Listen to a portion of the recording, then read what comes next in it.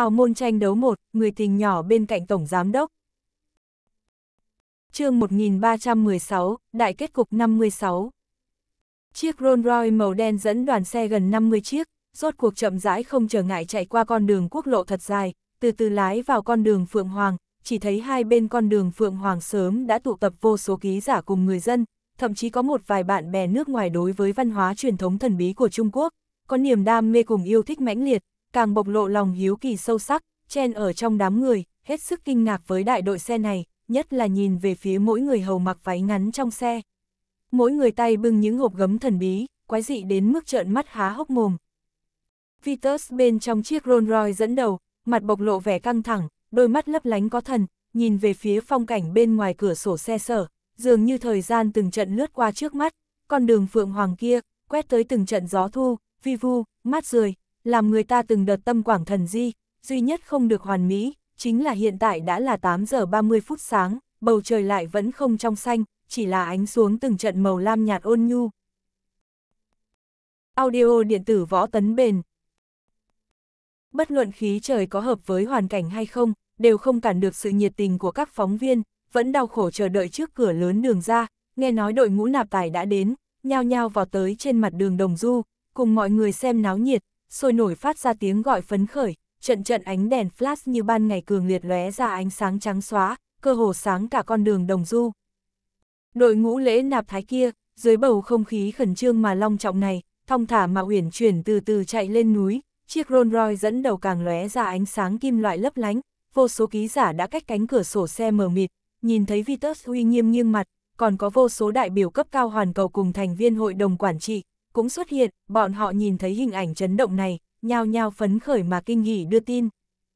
Bà Chu nghe nói đội ngũ lễ nạp thái sắp sửa lên núi, tức khắc dẫn người hầu, nhanh chóng cất bước đi ra cửa chính hoa viên, phân thành hai đội, mặt cũng bộc lộ vẻ nghiêm túc mà ngưng thần tĩnh khí, đứng ở bên cạnh chờ, lễ nạp thái còn đường gọi là tới cửa cầu thân, ý là chưa tới kết quả hoàn mỹ, người hầu đại diện cho nhà mẹ đẻ của đường khả hinh, mỗi người đều không dám nét mặt vui cười giấu đi niềm hân hoan vui xuống phải thần sắc căng thẳng, trận địa sẵn sàng đón quân địch.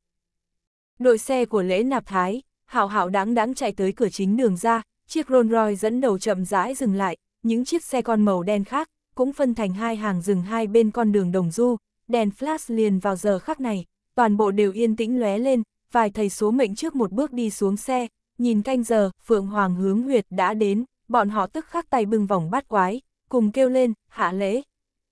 Cửa 38 chiếc xe con màu đen, đồng thời mở ra, vô số thiếu nữ mặc đồng phục màu đen, nhao nhao tay bưng hộp gấm đỏ, mặt bộc lộ vẻ cẩn thận mà nghiêm túc, đứng bên cửa xe, vài người hầu cuối cùng, nâng, sư cổn tú cầu, cũng hết sức nghiêm túc đứng thẳng, người hầu dẫn đầu nhận chỉ thị của thầy số mệnh, bỗng chốc vươn tay thon ngọc, đem những phần lễ vật vô giá đầy ý nghĩa toàn bộ nhẹ mở ra, lúc này chân trời lại bay tới từng trận gió thu, một chút ánh sáng mặt trời buổi sớm mai tranh nhau chiếu đến. Mời người nạp tài tiến lễ, thầy số mệnh cất cao giọng la lên. Vừa dứt lời, Vitus mới dưới từng đợt ánh đèn flash cường liệt, từ từ cất bước đi ra khỏi chiếc Rolls Royce, theo quy tắc, nghiêm túc đứng thẳng trước cửa chính viện đường ra, hai người hầu mặc đồng phục váy ngắn đen, một người tay bưng, ngọc chân lung, một người tay bưng hộp gấm bát tự của Trang Hạo Nhiên, đứng phía sau, sau đó là nhân viên cấp cao cùng thành viên hội đồng quản trị hoàn cầu, 38 người hầu bưng lễ hỏi, tức khắc cũng chia thành hai hàng, nghiêm túc đứng thẳng trái phải hai bên đường đồng du. Chuẩn bị nghe theo chỉ thị đi vào trong. Thầy số mệnh tay nâng vòng bát quái, xem canh giờ đã đến, liền nói Vitus đưa lễ hỏi lên, chuẩn bị cất bước đi vào đường ra, sau đó. Còn lại hai vị thầy số mệnh, mặt bộc lộ vẻ quái dị, trái phải nhìn phía sau mỗi người bưng bảo vật vô giá ngụ ý cắt tường, trong lòng suy nghĩ lúc nạp tài, chim nhạn quan trọng nhất đâu. Đó mới là tín vật ý nghĩa tìm bạn trăm năm quan trọng nhất của lễ nạp thái, trong sáu lễ vật đó thiếu một thứ cũng không được. Vậy chim nhạn kia đâu? Bọn họ mỗi người khẩn trương đến mức hai mặt nhìn nhau, thậm chí gọi phó quản gia hai nhà tưởng trang đi theo, nhỏ giọng hỏi chim nhạn kia đâu. Hai phó quản gia lại thần sắc trá dị, nhìn về phía thầy số mệnh nói chim nhạn không mang tới sao. Trang ra, tất cả mọi người đều nhảy dựng lên, rối loạn tìm chim nhạn đang ở đâu. Nhất là ân Nguyệt Dung đều khẩn trương đến mức muốn khóc lên, bà lại giống như một con thỏ, một hồi chui vào gầm bàn, một hồi chui vào thư phòng, một hồi chui dưới bàn ăn, gấp đến độ toàn thân đẫm mồ hôi, không ngừng tìm kiếm kêu, trời ạ. Chim nhạn đâu, Chim nhạn của ta đâu? Mọi người nghe lời này, cũng tất cả đều sốt ruột, ngay cả phòng bếp cũng trong trong ngoài ngoài tìm, tưởng vĩ quốc thậm chí ảo tưởng nhìn về phía ân Nguyệt Dung khẩn trương nói có thể hay không. Đã mang qua đó rồi. Ân Nguyệt Dung nghe lời này, một trận nhãn mạo kim tinh từ dưới gầm bàn bò dậy, nghiến răng nghiến lợi nhìn về phía tưởng vĩ quốc kêu lên, chim nhạn không mang. Rõ ràng chính là mang, tôi nhớ rõ ràng, không mang. Tưởng vĩ quốc một trận không nói gì nhìn về phía người này, cũng nhanh chóng nói, không mang thì không mang, bà lớn tiếng gào thét như vậy có ích lợi gì. Bà bây giờ mới nhớ tới không mang, vừa rồi làm gì mà đi. Con trai không chỉ của một mình tôi, ân Nguyệt Dung chỉ muốn nhìn thấy tưởng vĩ quốc, nhịn không được, gấp đến độ dậm chân, kêu lên tôi khẩn trương đấy. Con tôi muốn lấy con dâu, khẩn trương đến mức cả đêm không ngủ, được không?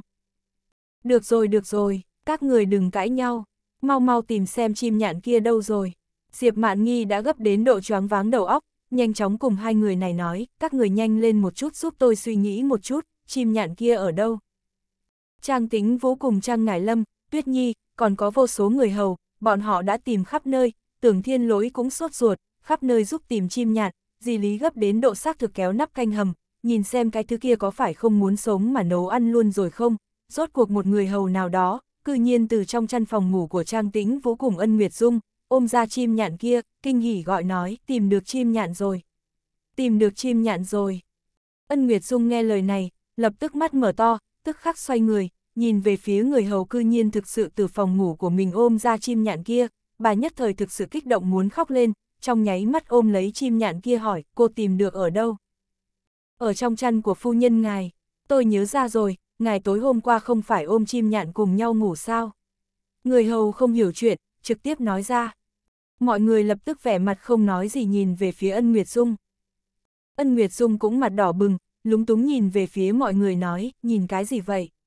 Tôi muốn có con dâu đến điên luôn rồi, không được sao? Đừng rong dài, Trang Ngải Lâm không nói hai lời, liền đưa tay cầm chim nhãn lên, nhanh chóng ôm ra, đem chúng nó trước ném vào ghế phó cạnh ghế điều khiển trên xe thể thao của mình, cũng nhanh chóng nhảy tới, nổ máy xe, xoay tay lái mới sốt ruột nói các người nhanh lên một chút thông báo với bên kia, để cho bọn họ chờ con một chút. Con tức khắc sẽ tới. Cô nói xong, trong nháy mắt đạp mạnh chân ga đến 200 mã lực, liền trong khoảnh khắc phóng đi, để xe như mũi tên lao thẳng đi. Ai, con lái xe cẩn thận một chút a. Ân Nguyệt Dung vẫn lo lắng cho con gái, lao ra khỏi phòng, la lớn. Đường ra, giờ lễ nạp thái đã đến. Vitus đứng trước cửa lớn đường ra, lặng lặng chờ đợi lễ nạp thái bắt đầu, thế nhưng ông đứng rất lâu, vẫn không thấy động tĩnh gì, liền hơi nghi ngờ nghiêng mặt, nghĩ đã xảy ra chuyện gì.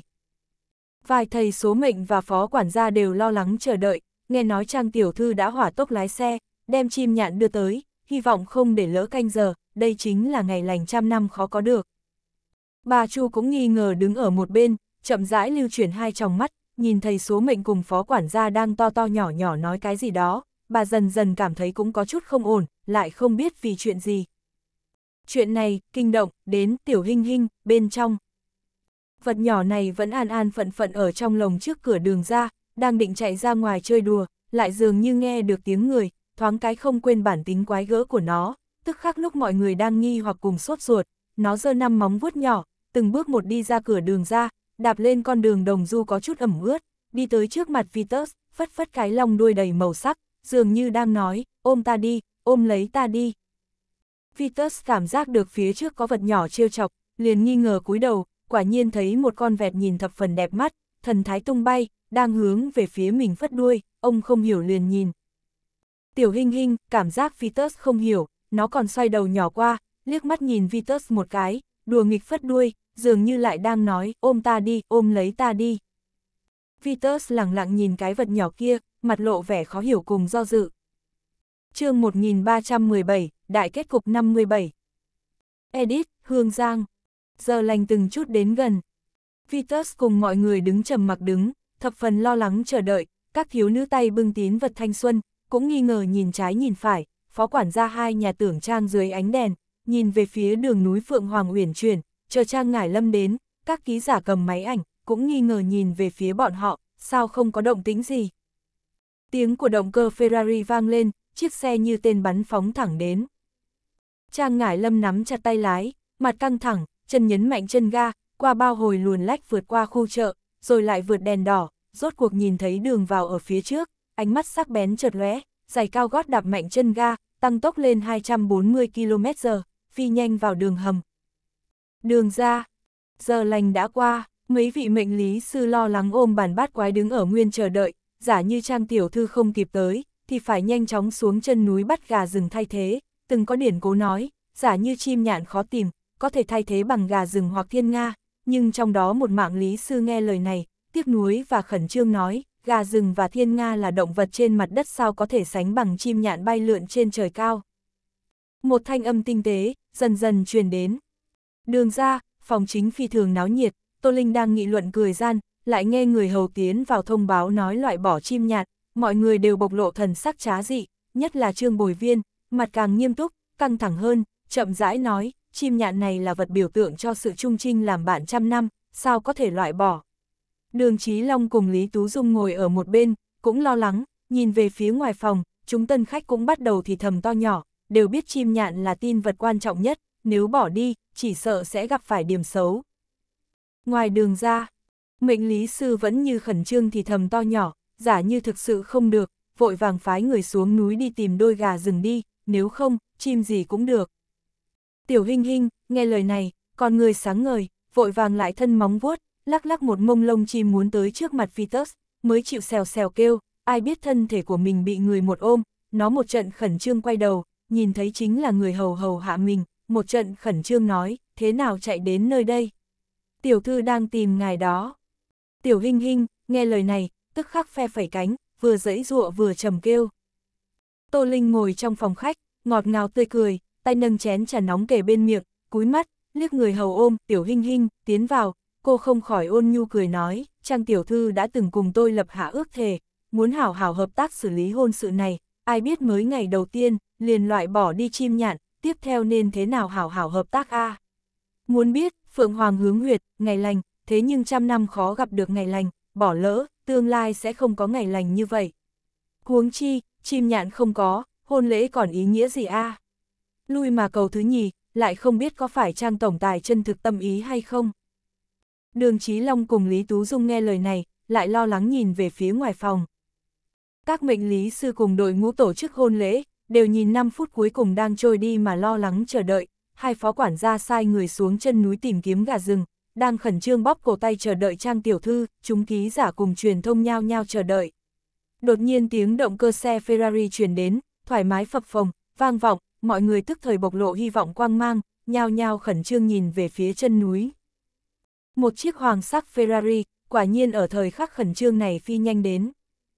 Trang ngải lâm hai tay nắm chặt tay lái, hai tròng mắt lóe ra tinh nhuệ quang mang, chân nặng đạp chân ga, nhường Ferrari dường như tên bắn hướng đường ra thẳng tiến, rốt cuộc ở thời khắc cuối cùng, cô hơi ngẩng đầu, nhìn về phía đội ngũ đám cưới đứng xếp hàng thật dài ở căn biệt thự kiểu kiểu Trung Quốc, cô lập tức nặng thở một cái, nhưng vẫn là nhanh chóng mãnh đạp chân ga, nhượng xe trong nháy mắt dừng ở đội ngũ cuối cùng. Hai phó quản gia nhìn thấy Trang Ngải Lâm rốt cuộc đã tới, các cô tức khắc nặng thở dốc, lập tức nhanh chóng chạy chậm đến trước xe Trang Ngải Lâm, biên ôm lấy kia đối chim nhạn, cảm tạ trời đất nói, ô kìa, Trang tiểu thư, may mắn ngài kịp. Thời giờ vừa vặn, mau đưa qua đi, Trang Ngải Lâm nhìn về phía hai phó quản gia vẻ mặt lo lắng, cô hơi thở dốc nói, hảo hảo mà hoàn thành việc này. Trang tổng tài sau đó đi ra. Vâng, hai phó quản gia tức khắc ôm đối chim nhạn, nhanh chóng đi tới trước mặt đội ngũ hôn lễ, kích động nói chim nhạn tới. Chim nhạn tới. Mệnh lý sư nghe lời này, cũng tức khắc bộc lộ kích động biểu tình, xin chỉ thị Vitus tay nâng quá xong nhạn tới trước cửa lớn đường ra, nhắm ngay bàn bát quái, Phượng Hoàng hướng huyệt, giờ tốt, tức khắc hơi phất tay, cao giọng gọi, tiến lễ. Đường ra mọi người, nghe mệnh lý sư này kích động mà cao giọng gọi, đánh giá chim nhạn tới, đội ngũ muốn tiến vào, bọn họ mặt nhao nhao bộc lộ kia kinh hỉ tươi cười, mà đường Chí Long phu phụ thở phào nhẹ nhõm, hết sức kích động nhìn về phía ngoài phòng. Trung ký giả nhao nhao lại nhiệt liệt, chụp được thời khắc kích động này. 38 thiếu nữ thanh xuân, nâng lên hai tay bưng vật biểu tượng, cẩn thận, phân thành hai hàng đứng phía sau Vitus. Vitus ấn chỉ thị, mặt nghiêm túc, vươn hai tay tiếp nhận một đôi chim nhạn khoác lụa hồng bào, trước của lớn đường ra, liếc mắt nhìn bài trí long trọng bên trong vườn, ông hơi ngưng thần nửa khắc, mới trầm ổn bước, hai bước liền bước lên thảm đỏ đường ra, lại từ từ dưới trận trận đèn flash, từng bước một dọc theo hướng thảm đỏ được trải ra đi vào trong.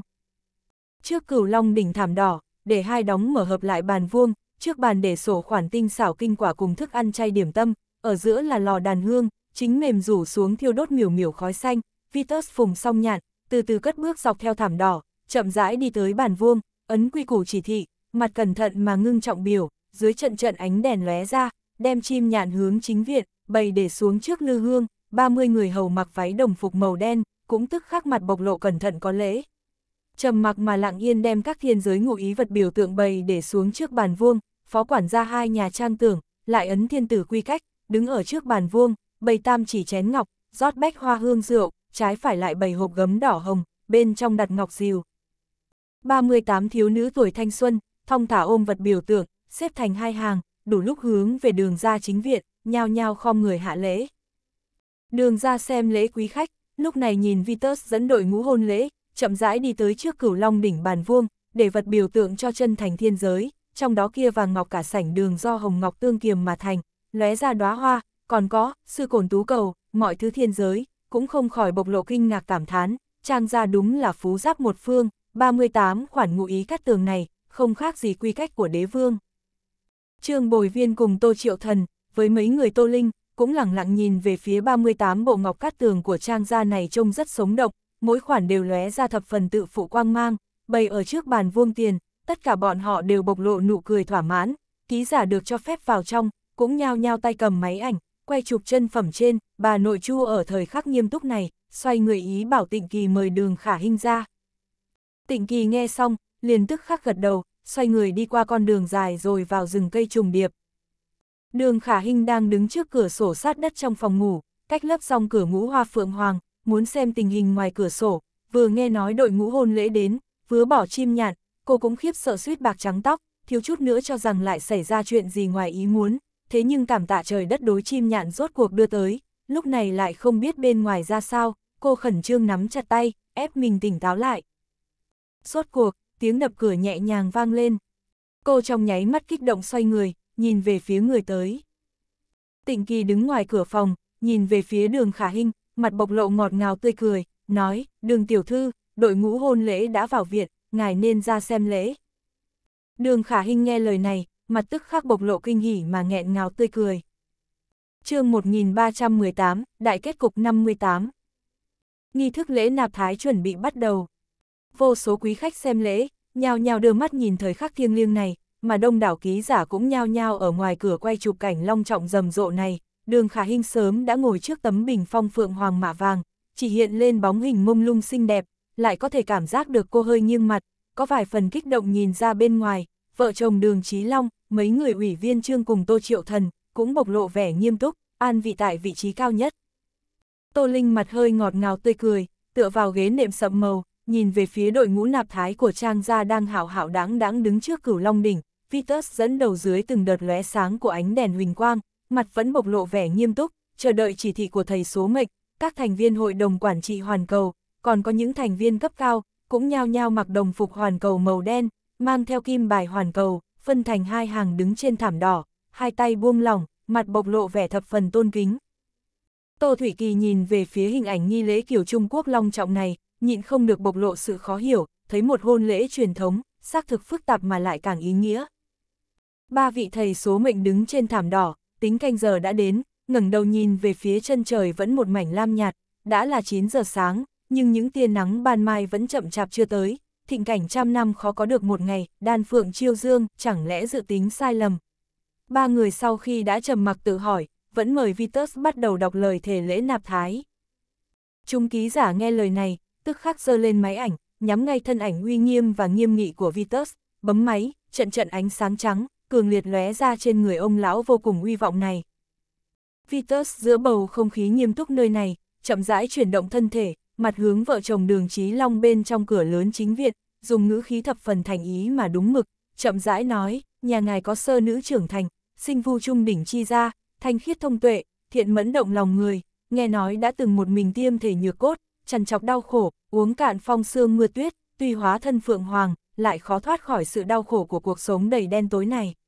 Bây giờ, con gái của hai vị đã hoa thơm cỏ lạ khó bì kịp, tài hoa diệu lệ, tôi nghe được cây cỏ này càng lúc càng tỏa hương thơm mát, đi tới trước đài cao, nghe ngầm nuôi uyên ương hồ điệp kết, tôi tuy khó xưng hùng xưng bá, lại nguyện dùng tấm lòng ngô đồng báo đáp, cùng ung ung minh nhạt, mặt trời mới mọc vào buổi sớm mai, cầu được tịnh đế liên, nguyện cao đường cùng tôn thân hạ nạp. Nghe nói thiên kim nhà ngài đã là một thiếu nữ thước tha ngọc lập động lòng người, thanh khiết thông tuệ, thiện lương nhanh nhẹn, hiếm có được chính là phẩm đức cao quý, cô ấy từng là một cô gái yếu đuối, lại nhiều lần chắc trở cùng đau khổ, thậm chí vì lý tưởng cửu tử nhất sinh, bây giờ thiên kim ngài đã hoa thơm cỏ lạ khó sánh, tài hoa diệu lệ, tôi theo chút hương hoa từ cô ấy mà đến, phát hiện đàn ông yêu thích sự ưu tú của cô ấy rất nhiều, tự mình không dám so bì, chỉ là nghe nói hai vị trưởng bối đường ra chuẩn bị tuyển chọn lang quân cho con ái nữ. Tôi chỉ mang một lòng quyết chí thể bất rời, nay như chim nhạn tìm bạn trăm năm, tại thời khắc tia nắng ban mai rực rỡ, cầu được hôn nhân như tôi mong ước. Mong hai vị trưởng bối đường ra cùng các vị tôn thân tiếp nhận. Vừa dứt lời, Vitus dẫn theo đội ngũ cầu thân, đồng thời khom lưng chào hỏi, 38 thiếu nữ tay bưng lễ vật, hai tay nhẹ đặt trước bụng, 90 độ khom người bày tỏ thành ý khẩn cầu. Đường khả hình ngồi bên trong tấm bình phong phượng hoàng, nghe thầy đại diện cho Trang Hạo Nhiên đọc lời cầu hôn, đôi mắt cô trong nháy mắt phiếm hồng, cách tấm bình phòng mông lung kia, nhìn về phía thân ảnh uy nghiêm của thầy, cẩn thận nghiêm nghị như vậy, thành ý khẩn thiết, trong lòng cô xúc động với muôn vàn mạch suy nghĩ, cho tới bây giờ đều chưa từng nghĩ, có một ngày Trang Hạo Nhiên sẽ lấy cảnh tượng trang trọng như vậy, đi tới trước cửa nhà mình, đứng trước mặt cha mẹ mình, cầu hôn. Cô nhẹ cúi mặt, hệt như thiếu nữ sắp sửa lấy chồng, hai tròng mắt ngấn lệ, yên lặng nói không nên lời. Đường Chí Long nghe lời cảm động này của Vitus, cũng bộc lộ nụ cười an ủi cùng mừng rỡ, Lý Tú Dung cũng đã cúi mặt, cầm khăn tay nhẹ nhàng lau nước mắt, chưa bao giờ hy vọng xa vời về con rể bà, lúc này đã khóc không thành tiếng. Mọi người xem lễ, cũng tất cả đều mặt bộc lộ vẻ cảm động, bao gồm cả ủy viên trương cùng Tô Triệu Thần, còn có mấy người Tô Linh cùng Tô Thủy Kỳ. Vô số ký giả cùng người chủ trì cũng nhao nhao quay chụp cảnh tượng long trọng mà cảm động lòng người này.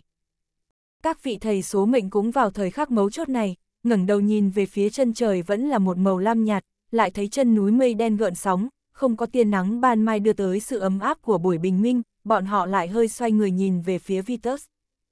Vitus sau khi đọc xong lời cầu hôn, mặt ông trầm ngưng, cảm nhận được hình ảnh cảm động dịu dàng của cô học trò cưng, ông lại chậm rãi nói, tôi nguyện cùng ái nữ đồng kết tịnh đế liên, đồng tâm, đồng đức, đồng sinh, đồng tử, quyết chí thể bất rời.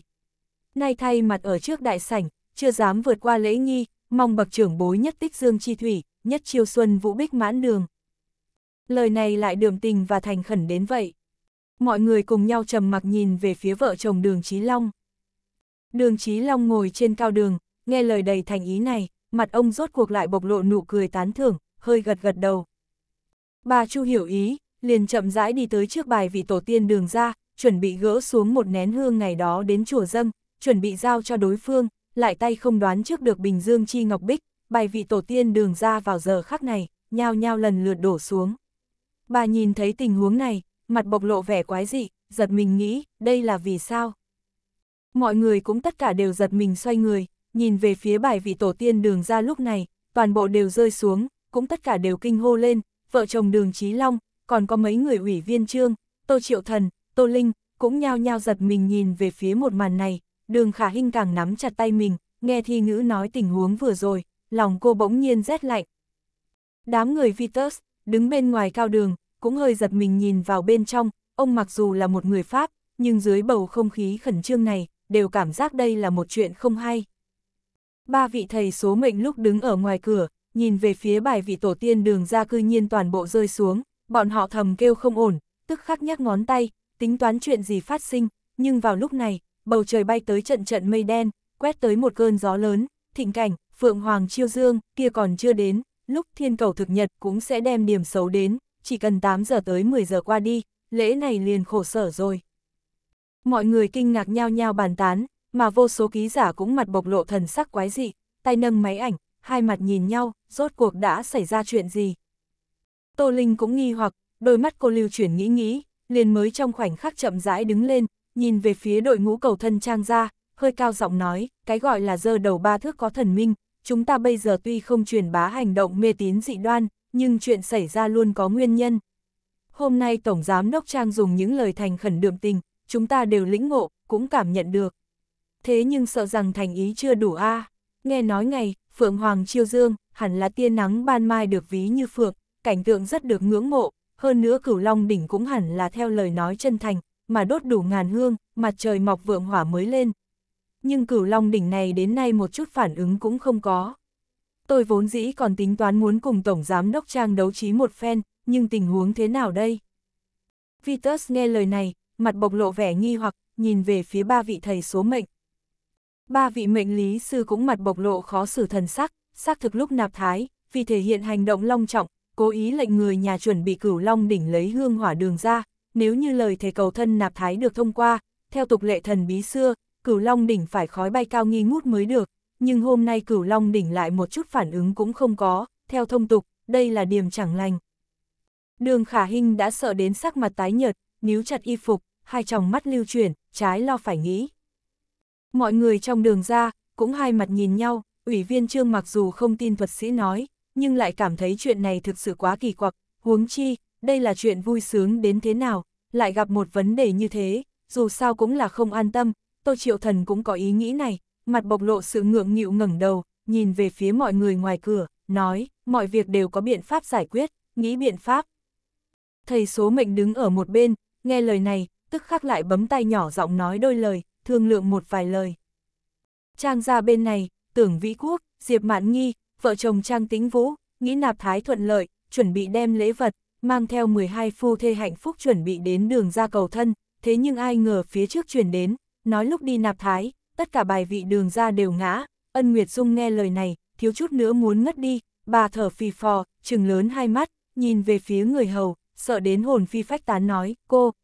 cô nói cái gì, toàn bộ bài vị đường ra đều ngã. Diệp Mạn Nghi là người tin số mệnh, nghe nói như thế, tim bà đập loạn, cả người cũng bị dọa. Tưởng Vĩ Quốc cùng Trang Tính Vũ nghe lời này, cũng mặt bộc lộ vẻ khiếp sợ, nghĩ điều này sao có thể. Nhà thờ họ Trang ra. Trang hạo nhiên mặc âu phục màu đen, áo sơ mi trắng, cài đóa hoa lụa trước ngực, đứng trước bài vị tổ tiên Trang ra, mặt bộc lộ vẻ quái dị, nhìn về phía mấy người lâm sở nhai, cũng nghi hoặc kinh ngạc kêu lên, cậu nói cái gì? Bài vị đường ra ngã sao?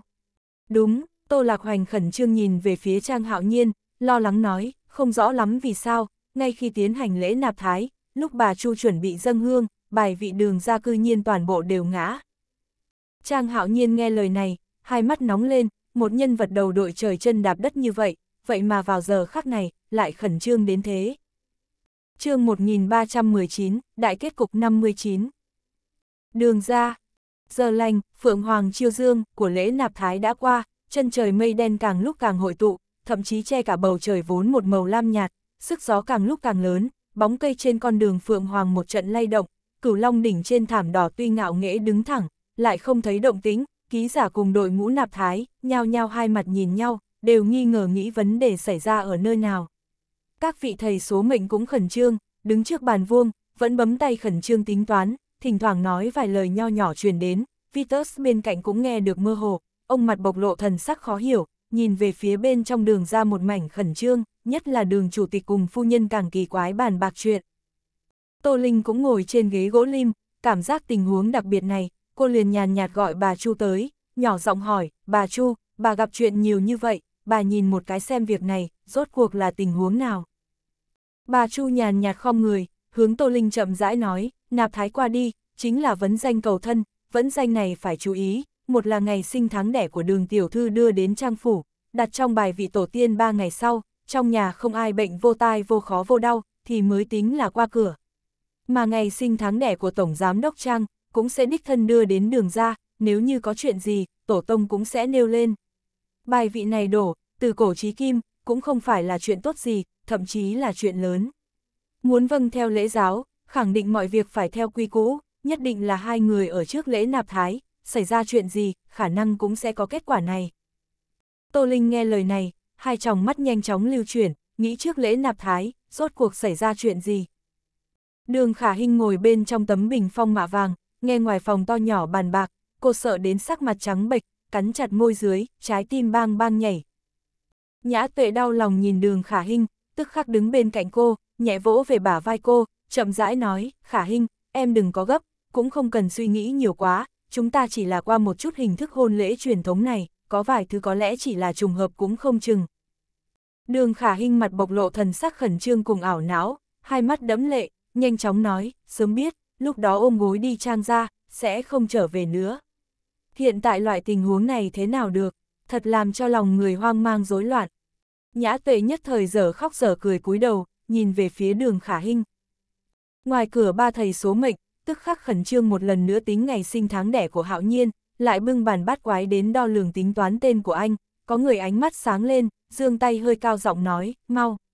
mau, đi mời Tổng Giám Đốc Trang, còn có đội ngũ cầu thân hai nhà tưởng Trang qua đây. Ngay lập tức, hai trợ lý nghe thầy số mệnh nói như vậy, các cô tức khắc gật đầu, vội vàng xoay người kêu người đi thông báo với Trang Hạo Nhiên. Một chiếc Rolls Royce màu bạc, đã nhanh chóng phóng qua phố xá ồn ào náo động, lái vào quốc lộ, lại chạy vào con đường thông đạo, sau một hồi chạy như bay trong đường hầm, rốt cuộc trong thời tiết phong vân gợn sóng, lái thẳng vào con đường Phượng Hoàng Uyển chuyển, nghe nói đội ngũ cầu thân hai nhà tưởng Trang, cũng xuất phát đi theo, Trang hạo nhiên gỡ bỏ nút áo âu phục, ngồi phía sau xe dựa vào ghế, mặt bộc lộ thần sắc ngưng trọng, hai tròng mắt lóe lên, ngón tay nhẹ đặt trên môi mỏng, nghĩ rốt cuộc xảy ra chuyện gì. Bài vị đường ra đổ hết.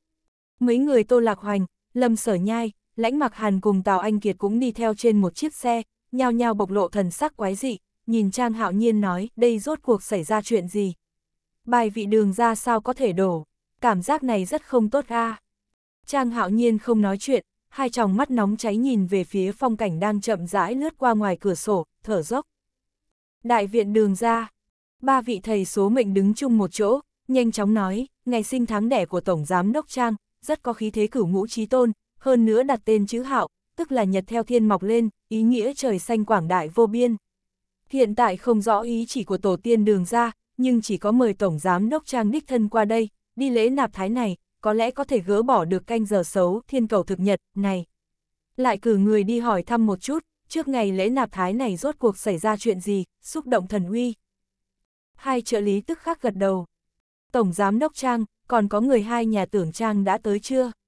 Thầy số mệnh xoay người, nhìn về phía người hầu phía sau, nhanh chóng hỏi. Ngay lập tức sẽ đến, người hầu đáp. Vừa dứt lời, chân trời lại gợn sóng mây đen, trận trận tiếng ủng ủng vang lên, dường như tiếng sấm, gió nổi lên tán loạn, một mảnh hào quang màu tím cuối cùng phía chân trời, sắp tiêu ẩn, ba thầy số mệnh đứng bên trong cửa viện, ngẩng đầu nhìn về phía thời tiết hôm nay, biết canh giờ, Phượng Hoàng Chiêu Dương, đã qua, liền hối người mau mau đi mời Tổng Giám Đốc Trang. Mọi người bên trong phòng đường ra, nghe nói Tổng Giám Đốc Trang đích thân đến đây, đều nhao nhao đứng dậy nhìn ra xa, mấy người Tô Linh cũng khẩn trương ngẩng đầu, nhìn về phía ngoài phòng, Tô Thủy Kỳ cũng ngồi ở trong phòng, mặt bộc lộ thần sắc ngưng trọng, đường khả hình sắp sửa muốn khóc lên.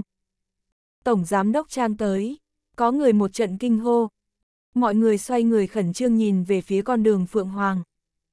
Một chiếc Rolls Royce màu bạc nhanh chóng lướt qua bóng cây trên con đường Phượng Hoàng, cuối cùng lóe ra thứ ánh sáng kim loại long trọng mà tôn quý, chậm rãi dừng trước cửa đại viện đường ra, ba vị thầy số mệnh thấy xe trang hạo nhiên đã đến, bọn họ tức khắc lệnh cho hai người hầu, một người tay bưng ngày sinh tháng đẻ của trang hạo nhiên, một người tay bưng, ngọc chân lung, đứng trái phải hai bên đại viện đường ra.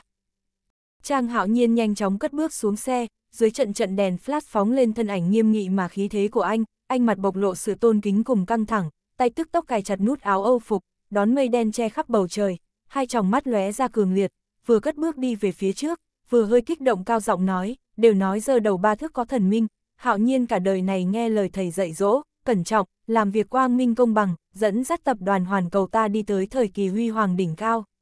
Hôm nay hạo nhiên xác thực ôm tấm lòng thành kính nhất, muốn từ 3.000 cái cúi đầu trước liên viện, cầu được yêu thương người vì ta ngửa đầu nói ra tấm lòng. Từ nay về sau, ta một đời một kiếp, thập sinh thập thế, không phải cô ấy sẽ không cưới. Xin liệt tổ liệt tông đường ra tác thành. Đường khả hình nghe Trang Hạo Nhiên câu kia, muốn từ 3.000 cái cúi đầu trước liên viện, cầu được yêu thương người vì ta ngửa đầu nói ra tấm lòng, cô bỗng chốc hai tròng mắt rưng rưng, hơi ngửa đầu, cách tấm bình phong mông lung kích động nhìn về phía ngoài phòng. Mọi người trong đường ra, bao gồm cả Tô Linh, đều khẩn trương nhìn về phía cửu long đỉnh kia. Trang hạo nhiên hai tròng mắt cũng kích động run run phát ra tia nhìn kiên định, dường như thanh long, một mình ngẩng đầu mà bước, không chút do dự, cực nhanh đi trên thảm đỏ, dường như xuyên thấu tầng tầng mây đen mưa gió kia, nhìn chăm chăm vào cửu long đỉnh, bốc hơi muôn vàn khí thế, mỗi lúc anh đến gần một bước, khí thế mênh mông kia từ từ dâng lên, lập tức nóng cháy bay lên, cửu long đỉnh hiển hách trước mặt cư nhiên ngay trong nháy mắt này, toàn bộ lửa ầm ầm sáng lên, cháy hừng hực, bách hương mang theo ý chỉ thần bí. Quanh quanh quẩn quẩn mà bay lên, liền trong tiếng hoan hô của mọi người, vừa rồi mây đen vô tận, lại dần tan biến đi, chân trời truyền đến một trận tiếng kêu, long phượng hòa minh, tiên nắng ban mai đầu tiên dường như ánh sáng phượng hoàng, cuồng quét khắp vùng đất, khắp núi rừng, toàn bộ thế giới chợt tỏa sáng, phượng hoàng chiêu dương, húc nhật đông đăng, cảnh tượng của ngày lành. Mọi người kinh ngạc hoan hô. Đường khả hình càng không thể tin nổi đứng lên, hai mắt dương dương cách tấm màn mông lung, nhìn một màn trước mặt. Vợ chồng đường Trí Long, ủy viên trương cùng Tô Triệu Thần, còn có đám người Tô Linh cùng Tô Thụy, cũng nhao nhao sợ ngây người. Trang hạo nhiên trong nháy mắt, hai tròng mắt lại kích động run run, đầu tiên là đi tới trước mặt Vitus, thật sâu cúi người cảm kích thầy đến đây, chờ cửu long đỉnh thành công chuyển khai, sau khi hai chim nhạn đưa vào ngọc lung, anh mới kích động, một mình cất bước, mang theo thành ý lớn nhất, đi tới trước cánh cửa đường ra, thật sâu cúi đầu, nhẹ nắm nắm đấm, mang theo tâm trạng khẩn trương cùng chờ mong, vô hạn cảm xúc, cũng không kịp nói lời lễ nghĩa gì, trực tiếp biểu đạt cõi lòng nói, xin ân sư phụ và sư mẫu. Chấp thuận đem khả hình gả làm vợ cho con. Đường Chí Long thật sâu nhìn về phía Trang Hạo Nhiên, rốt cuộc loại bỏ hết khó khăn đi tới trước mặt của mình, ông kích động bộc lộ tiếu ý, chậm rãi phất tay, để bà Chu đưa tới bình, Dương Chi cam lộ, lại đem ngày sinh tháng đẻ của đường khả hình đặt trước bài vị, tất cả đều nhao nhao đưa đến trước mặt. Trang hạo nhiên vô cùng xúc động, nhìn về phía người hầu vì mình tiếp nhận, Dương Chi cam lộ, lại đem ngày sinh tháng đẻ của vị hôn thê đưa vào, Ngọc Trân lung, vô giá, anh rốt cuộc thở vào một cái cảm động tươi cười. Đường khả hình đẫm lệ nhoẻn miệng cười nhìn về phía vị hôn phu.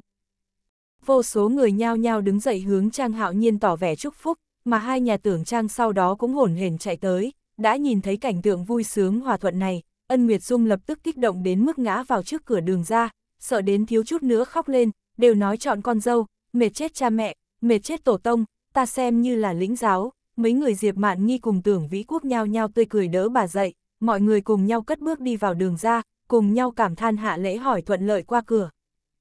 Mọi người lại lần nữa chúc mừng, chỉ có Tô Linh, sau khi trải qua không khí khẩn trương nặng nề vừa rồi, cô mới mặt bộc lộ vẻ tiếc nuối, vốn kế hoạch sắp sửa toàn vẹn, đây là có chuyện gì?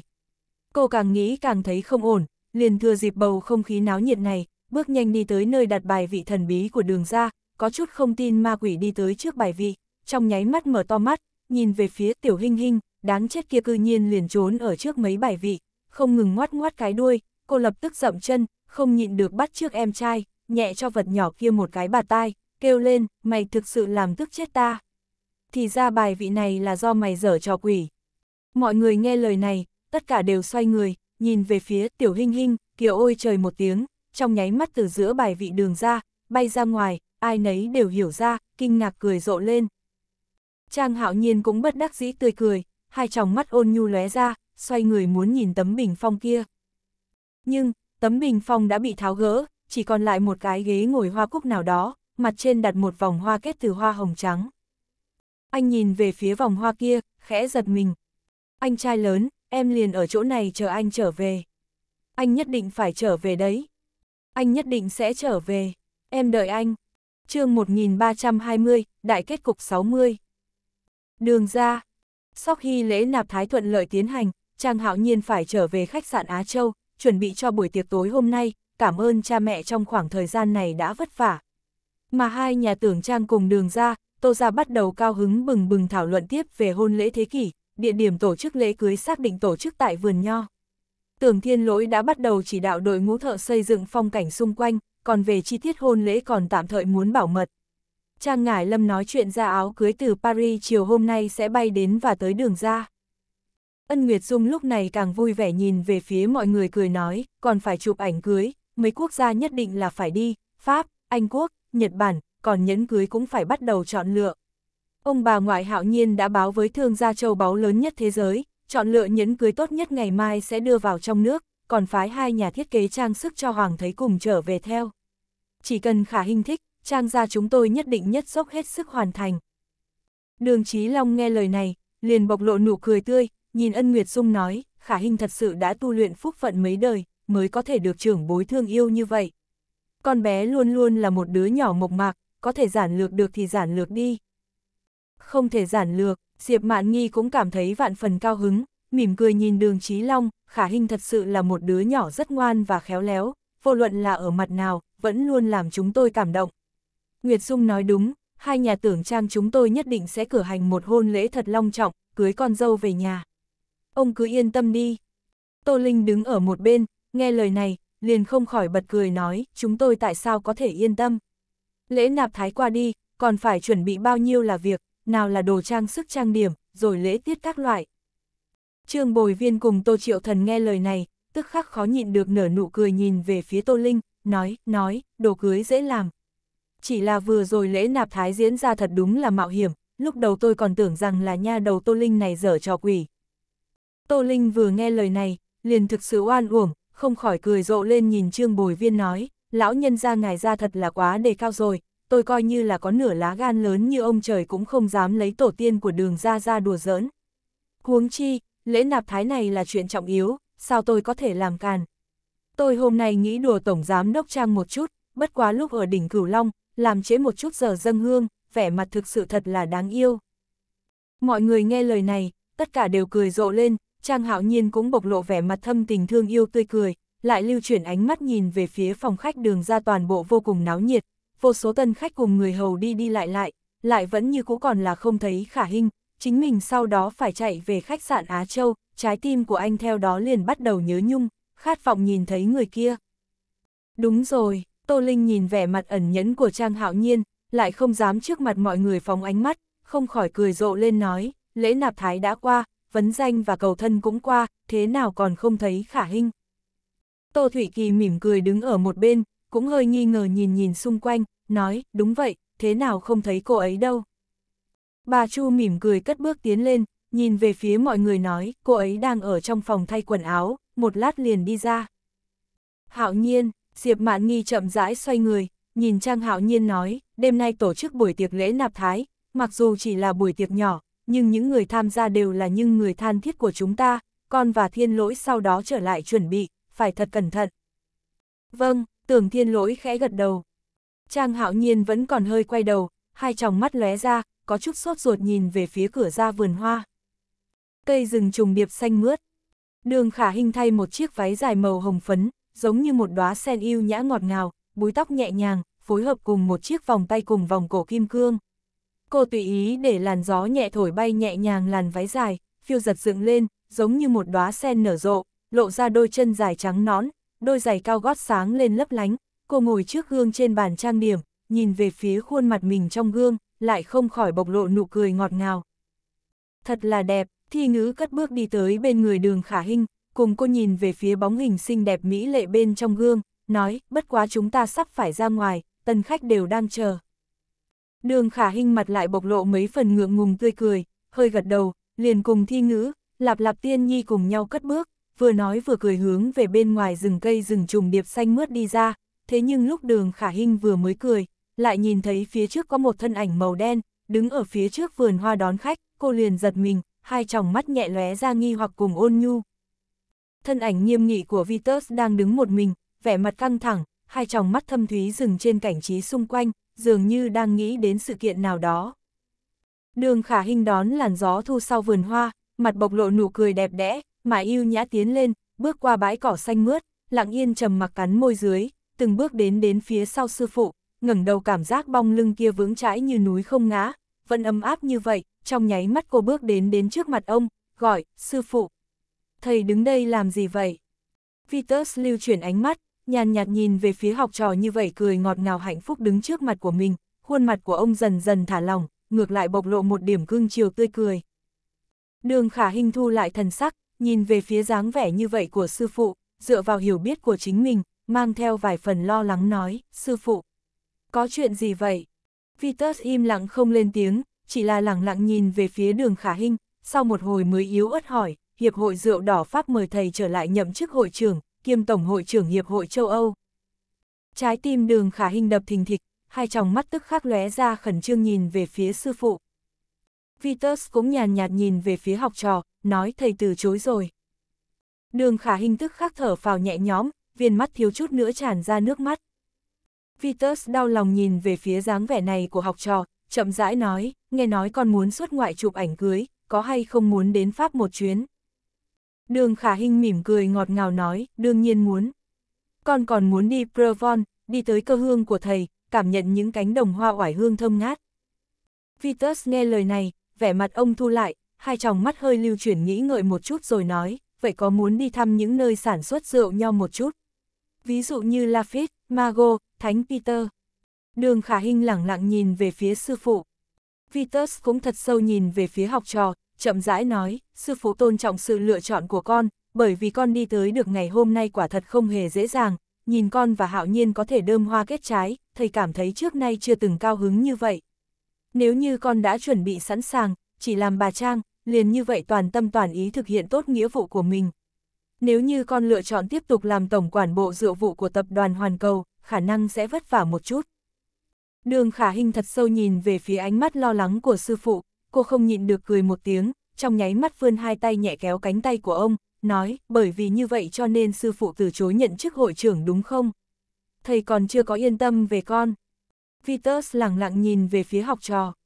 Biết rồi, con biết phải làm sao mà. Đường khả hình thoáng cái dắt sư phụ đi vào bên trong, vừa đi vừa cười nói, thầy phải tin tưởng con. Vitus nghe lời này, trên mặt rốt cuộc tình không khỏi bộc lộ tươi cười, nhưng lại làm bộ nghiêm túc nhìn về phía học trò nói, bởi vì quá tin con, cho nên con mỗi ngày đều gặp rắc rối. Vừa thật là hù chết sư phụ, sư phụ còn tưởng rằng là chính mình làm sai chuyện gì mới đưa đến kết quả như vậy. Mấy loại lễ tiết này trong nước các con quả thật là vô cùng kỳ quái. Lúc tấm bảng rơi xuống liền đem mấy người hoảng hốt như vậy. Phải biết rằng, nó tùy thời đều có thể sẽ rơi xuống, dù cho một trận gió thổi đều sẽ đổ xuống. Nếu như hôm nay bếp lò không thiêu cháy, chẳng lẽ sẽ không kết hôn? Đây quả thực là hồ nháo. Thầy sau này cũng không nghĩ muốn nhìn thấy ba cái người kỳ quái đó nữa, bọn họ quả thực là đem thân thể dưỡng tốt của thầy thiếu chút nữa dọa thành không có. Phốc, đường khả hình nghe lời nói này của sư phụ, lại nhịn không được cười ha ha. Thi ngữ nghe tiếng cười kia, cô cũng không khỏi đi vào vườn hoa, nhìn về phía đường khả Hinh và Vitus nói, đường tiểu thư, Vitus tiên sinh, phu nhân mời hai người đi vào, tổng giám đốc Trang phải đi rồi. Đường khả Hinh nghe nói Trang hạo nhiên phải đi, cô lập tức sốt ruột, nhanh chóng tay sư phụ ra, nhấc lên làn váy dài nhanh chóng cất bước đi vào phòng khách đường ra, lại nhìn thấy thân ảnh mị hoặc của Trang hạo nhiên đứng bên cạnh cửa, hai tròng mắt anh lóe ra nóng rực nhìn về phía mình, nói, xin lỗi, anh nhờ thi ngữ nói dối một chút, bởi vì phải đi, nghĩ tạm thời mượn một chút thời gian của sư phụ. Đường khả hình tĩnh đứng bên cạnh cửa, thật sâu nhìn về phía người đàn ông trước mặt. Audio điện tử võ tấn bền. chương 1321, Đại kết cục 61. Đường ra.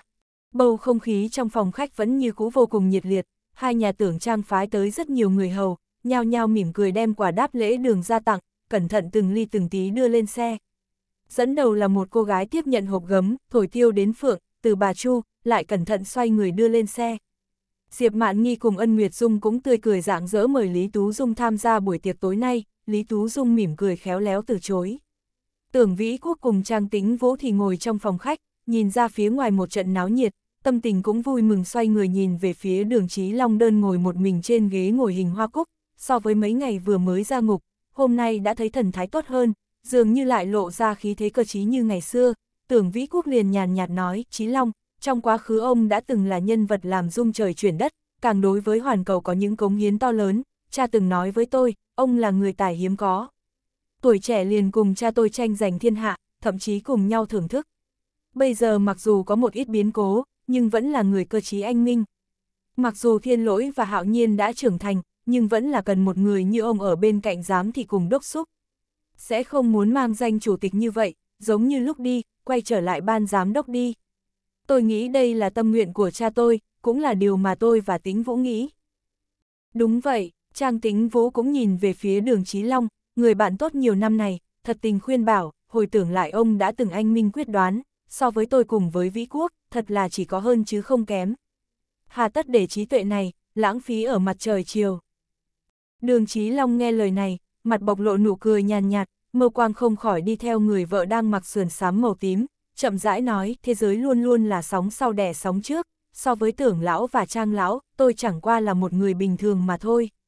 Sáng tạo ra một ít kỳ tích, lúc đó cần một ít thiên thời địa lý, còn có cơ hội. Trước hết không nói tôi bị giam hơn 10 năm, dù cho bây giờ thân ở địa vị cao, cũng sẽ dần dần thoái ẩn xuống, để cho người trẻ tuổi thêm nhiều cơ hội để phát huy. Trong mắt của tôi, thiên lỗi cùng hạo nhiên là một ví dụ, bọn chúng so với quá khứ của chúng ta, càng có trí khôn, có tầm nhìn xa hơn. Nhất là thiên lỗi, mặc dù thiếu đi sự lợi hại cùng tốc độ như hạo nhiên, nhưng trời sinh nó chính là một người giống như một vị hoàng đế, làm việc luôn lấy đại cục làm trọng, lại có cái nhìn xa, tính cách mạnh mẽ. Hai ngày nay tôi ở nhà, thuận tiện quan sát nhìn nó tự mình đưa ra kế hoạch cho dự án khách sạn dưới nước, tôi không khỏi thán phục, đây đúng là một thời đại tốt đẹp, cần phải có một người can đảm, dũng cảm đổi mới như vậy. Tưởng Vĩ Quốc nghe đường Chí Long như vậy tán thưởng con trai của mình, không khỏi mở ra một đề tài, mặt bộc lộ mỉm cười nói, ông đã như thế tán thưởng thiên lỗi, vậy làm sao đem khả hình gả cho hạo nhiên. Đường Chí Long nghe lời này, không khỏi sửng sốt. Ha ha ha ha ha, Trang tính vũ lúc này hơi di chuyển người, cúi xuống uống một ngụm trà, mới cười nói, hạo nhiên mặc dù không có bản lĩnh như thiên lỗi, có chiến lược, có tầm nhìn xa, nhưng xúc sinh này có một loại bản lĩnh, chính là được người thích. Đêm qua người nhạc phụ tương lai này, còn phái người làm canh gừng cá trạch về đến nhà, tên xúc sinh kia không biết ăn đến bao nhiêu thân mật. Đường Chí Long nghe thấy chuyện về Trang Hạo Nhiên, sắc mặt ông lập tức bộc lộ một loại kiêu ngạo và nụ cười tự hào. Đấy ông xem, Trang Tính Vũ nhìn về phía đường Chí Long như vậy nở nụ cười thỏa mãn, lại không khỏi bật cười nói, ông ấy mặc kệ khen thiên lỗi nhiều bao nhiêu, trong lòng vẫn là che chở cho hạo nhiên. Thiên lỗi có cái tốt của thiên lỗi, hạo nhiên có cái ưu tú của hạo nhiên. Hai đứa nhỏ này, đều có thiên phú, trở thành kỳ tài. Đường Chí Long chỉ khẽ cười nói. Tưởng Vĩ Quốc lại vào thời khắc này thật sâu nhìn về phía đường Chí Long, nói Chí Long, ông thực sự không trở lại sao? Hoàn cầu cần ông. Đường Chí Long vẫn như cũ khiêm tốn lắc đầu, mỉm cười nói, tôi lớn tuổi rồi, hết thảy tất cả cũng không giống năm đó, chỉ nghĩ muốn dùng những năm tháng còn lại của cuộc đời, chăm sóc vợ và con gái thật tốt. Tưởng Vĩ Quốc cùng Trang Tính Vũ nghe đường Chí Long nói như vậy, cũng không hề kiên trì, thế nhưng Trang Tính Vũ lại bộc lộ nụ cười nhìn ông nói, ông trước hết không nên nói những lời nhẹ nhõm vậy, mặc dù không nhậm chức chủ tịch hoàn cầu, thế nhưng hạo nhiên kia thật sự là con ngựa hoang, vẫn còn cần ông chỉ bảo một chút. Đừng trách tôi lắm miệng, tô lão vừa rồi cũng nói, luật về tịnh đế liên, cũng là phong thái năm đó của ông. Đường Chí Long nghe lời này, sắc mặt hơi ngưng nhìn về phía trang tính vũ dáng vẻ hiểu hết tất cả, ông liền bộc lộ nụ cười nhàn nhạt, hồi tưởng lại từng nói với hạo nhiên về tịnh đế liên, khi đó hạo nhiên còn nhỏ, lại có một ngày tay cầm mộ đóa hoa sen, kỳ quái hỏi cha, vì sao những hoa sen khác đều là một cây một hoa, còn cây hoa sen này lại một cây hai đóa hoa. Ông liền mỉm cười chậm rãi giải thích, tịnh đế liên thuộc về một loại hoa sen quý giá, cành của nó cùng tâm cùng đế. Ý chỉ hôn nhân là điều đẹp nhất, hạnh phúc nhất. Đường Chí Long hồi tưởng lại năm đó, hai tròng mắt không khỏi bộc lộ tia cười từ ái. Trang tính vỗ thật sâu nhìn về phía ánh mắt của đường Chí Long, biết ông luôn luôn thương yêu hạo nhiên cực sâu, liền hơi xoay người nhìn về phía phòng khách náo nhiệt, nghi ngờ nói kỳ quái, tên xúc sinh này đi đâu không biết. Muốn đi, cũng không bồi nhạc phụ tương lai này thêm mấy câu. Không biết là lại cùng mấy người lâm sở nhai hồ nháo đi. Đường Chí Long lại an tĩnh ngồi ở vị trí, hai tròng mắt cơ trí lóe ra, khẽ cười. Một luồng gió nhẹ ngọt ngào thổi tới, tuyết trắng nhẹ nhàng rơi, giống như làn mưa. Trang hạo nhiên đứng trong góc khuất hành lang, vẻ mặt ôn nhu tươi cười nhìn về phía cô gái mặc váy hồng phấn trước mặt, búi tóc nhẹ nhàng thùy mị, ôn nhu say lòng người. Tâm tình của anh cũng nổi sóng, không nhịn được chậm rãi vươn tay, nhẹ nhàng trượt lên khuôn mặt mềm mại của cô, nhìn kỹ đôi môi đỏ mọng của cô, hai tròng mắt càng lúc càng nóng rực, lại chỉ phải nuốt khan nơi cổ họng, nặng nề thở dốc nói, anh từng ảo tưởng qua vô số lần, cần dùng phương thức nào để bước vào của nhà của em, mặc dù hôm nay mạo hiểm vạn phần. Nhưng loại cảm giác này thực sự rất tốt đẹp, thậm chí hiện tại có loại cảm giác không thể chờ đợi được, muốn ôm em trở về phòng, cùng em uống một chén rượu ngọt ngào. Nhưng bởi vì có cha ở đây, anh cái gì cũng không làm được. Đường khả Hinh nghe lời này, nội tâm cũng dâng lên, thật sâu nhìn về phía người đàn ông trước mặt. Trang hạo nhiên chậm rãi cúi đầu nhìn về phía cô gái trước mặt, sâu xa nói, thật hận không thể ôm chặt em không tách ra, thẳng đến ngày tổ chức hôn lễ. Nhưng anh phải đi, buổi tiệc đêm nay xác thực rất quan trọng. Sắc mặt đường khả hình thu lại, mặc dù không muốn nhưng vẫn là bộc lộ nụ cười hiểu rõ, nhìn về phía Trang hạo nhiên. Trang hạo nhiên cũng thật sâu nhìn về phía cô gái trước mặt, mỉm cười, lại nghe thấy Diệp Mạn Nghi cùng mẹ nhao nhao đứng dậy cáo từ, thậm chí nghe thấy cha đang gọi mình, anh liền đành phải bất đắc dĩ thở dài, tay hơi nặng phủ lên khuôn mặt nhỏ nhắn ửng đỏ của cô, nhẫn ẩn mấy phần, rốt cuộc mới trầm mặc xoay người cất bước đi ra phòng khách, theo cha mẹ cùng nhau đi ra ngoài. Đường khả Hinh vẫn như cũ đứng tại chỗ, hai tròng mắt thật sâu nhìn về phía Trang Hạo Nhiên.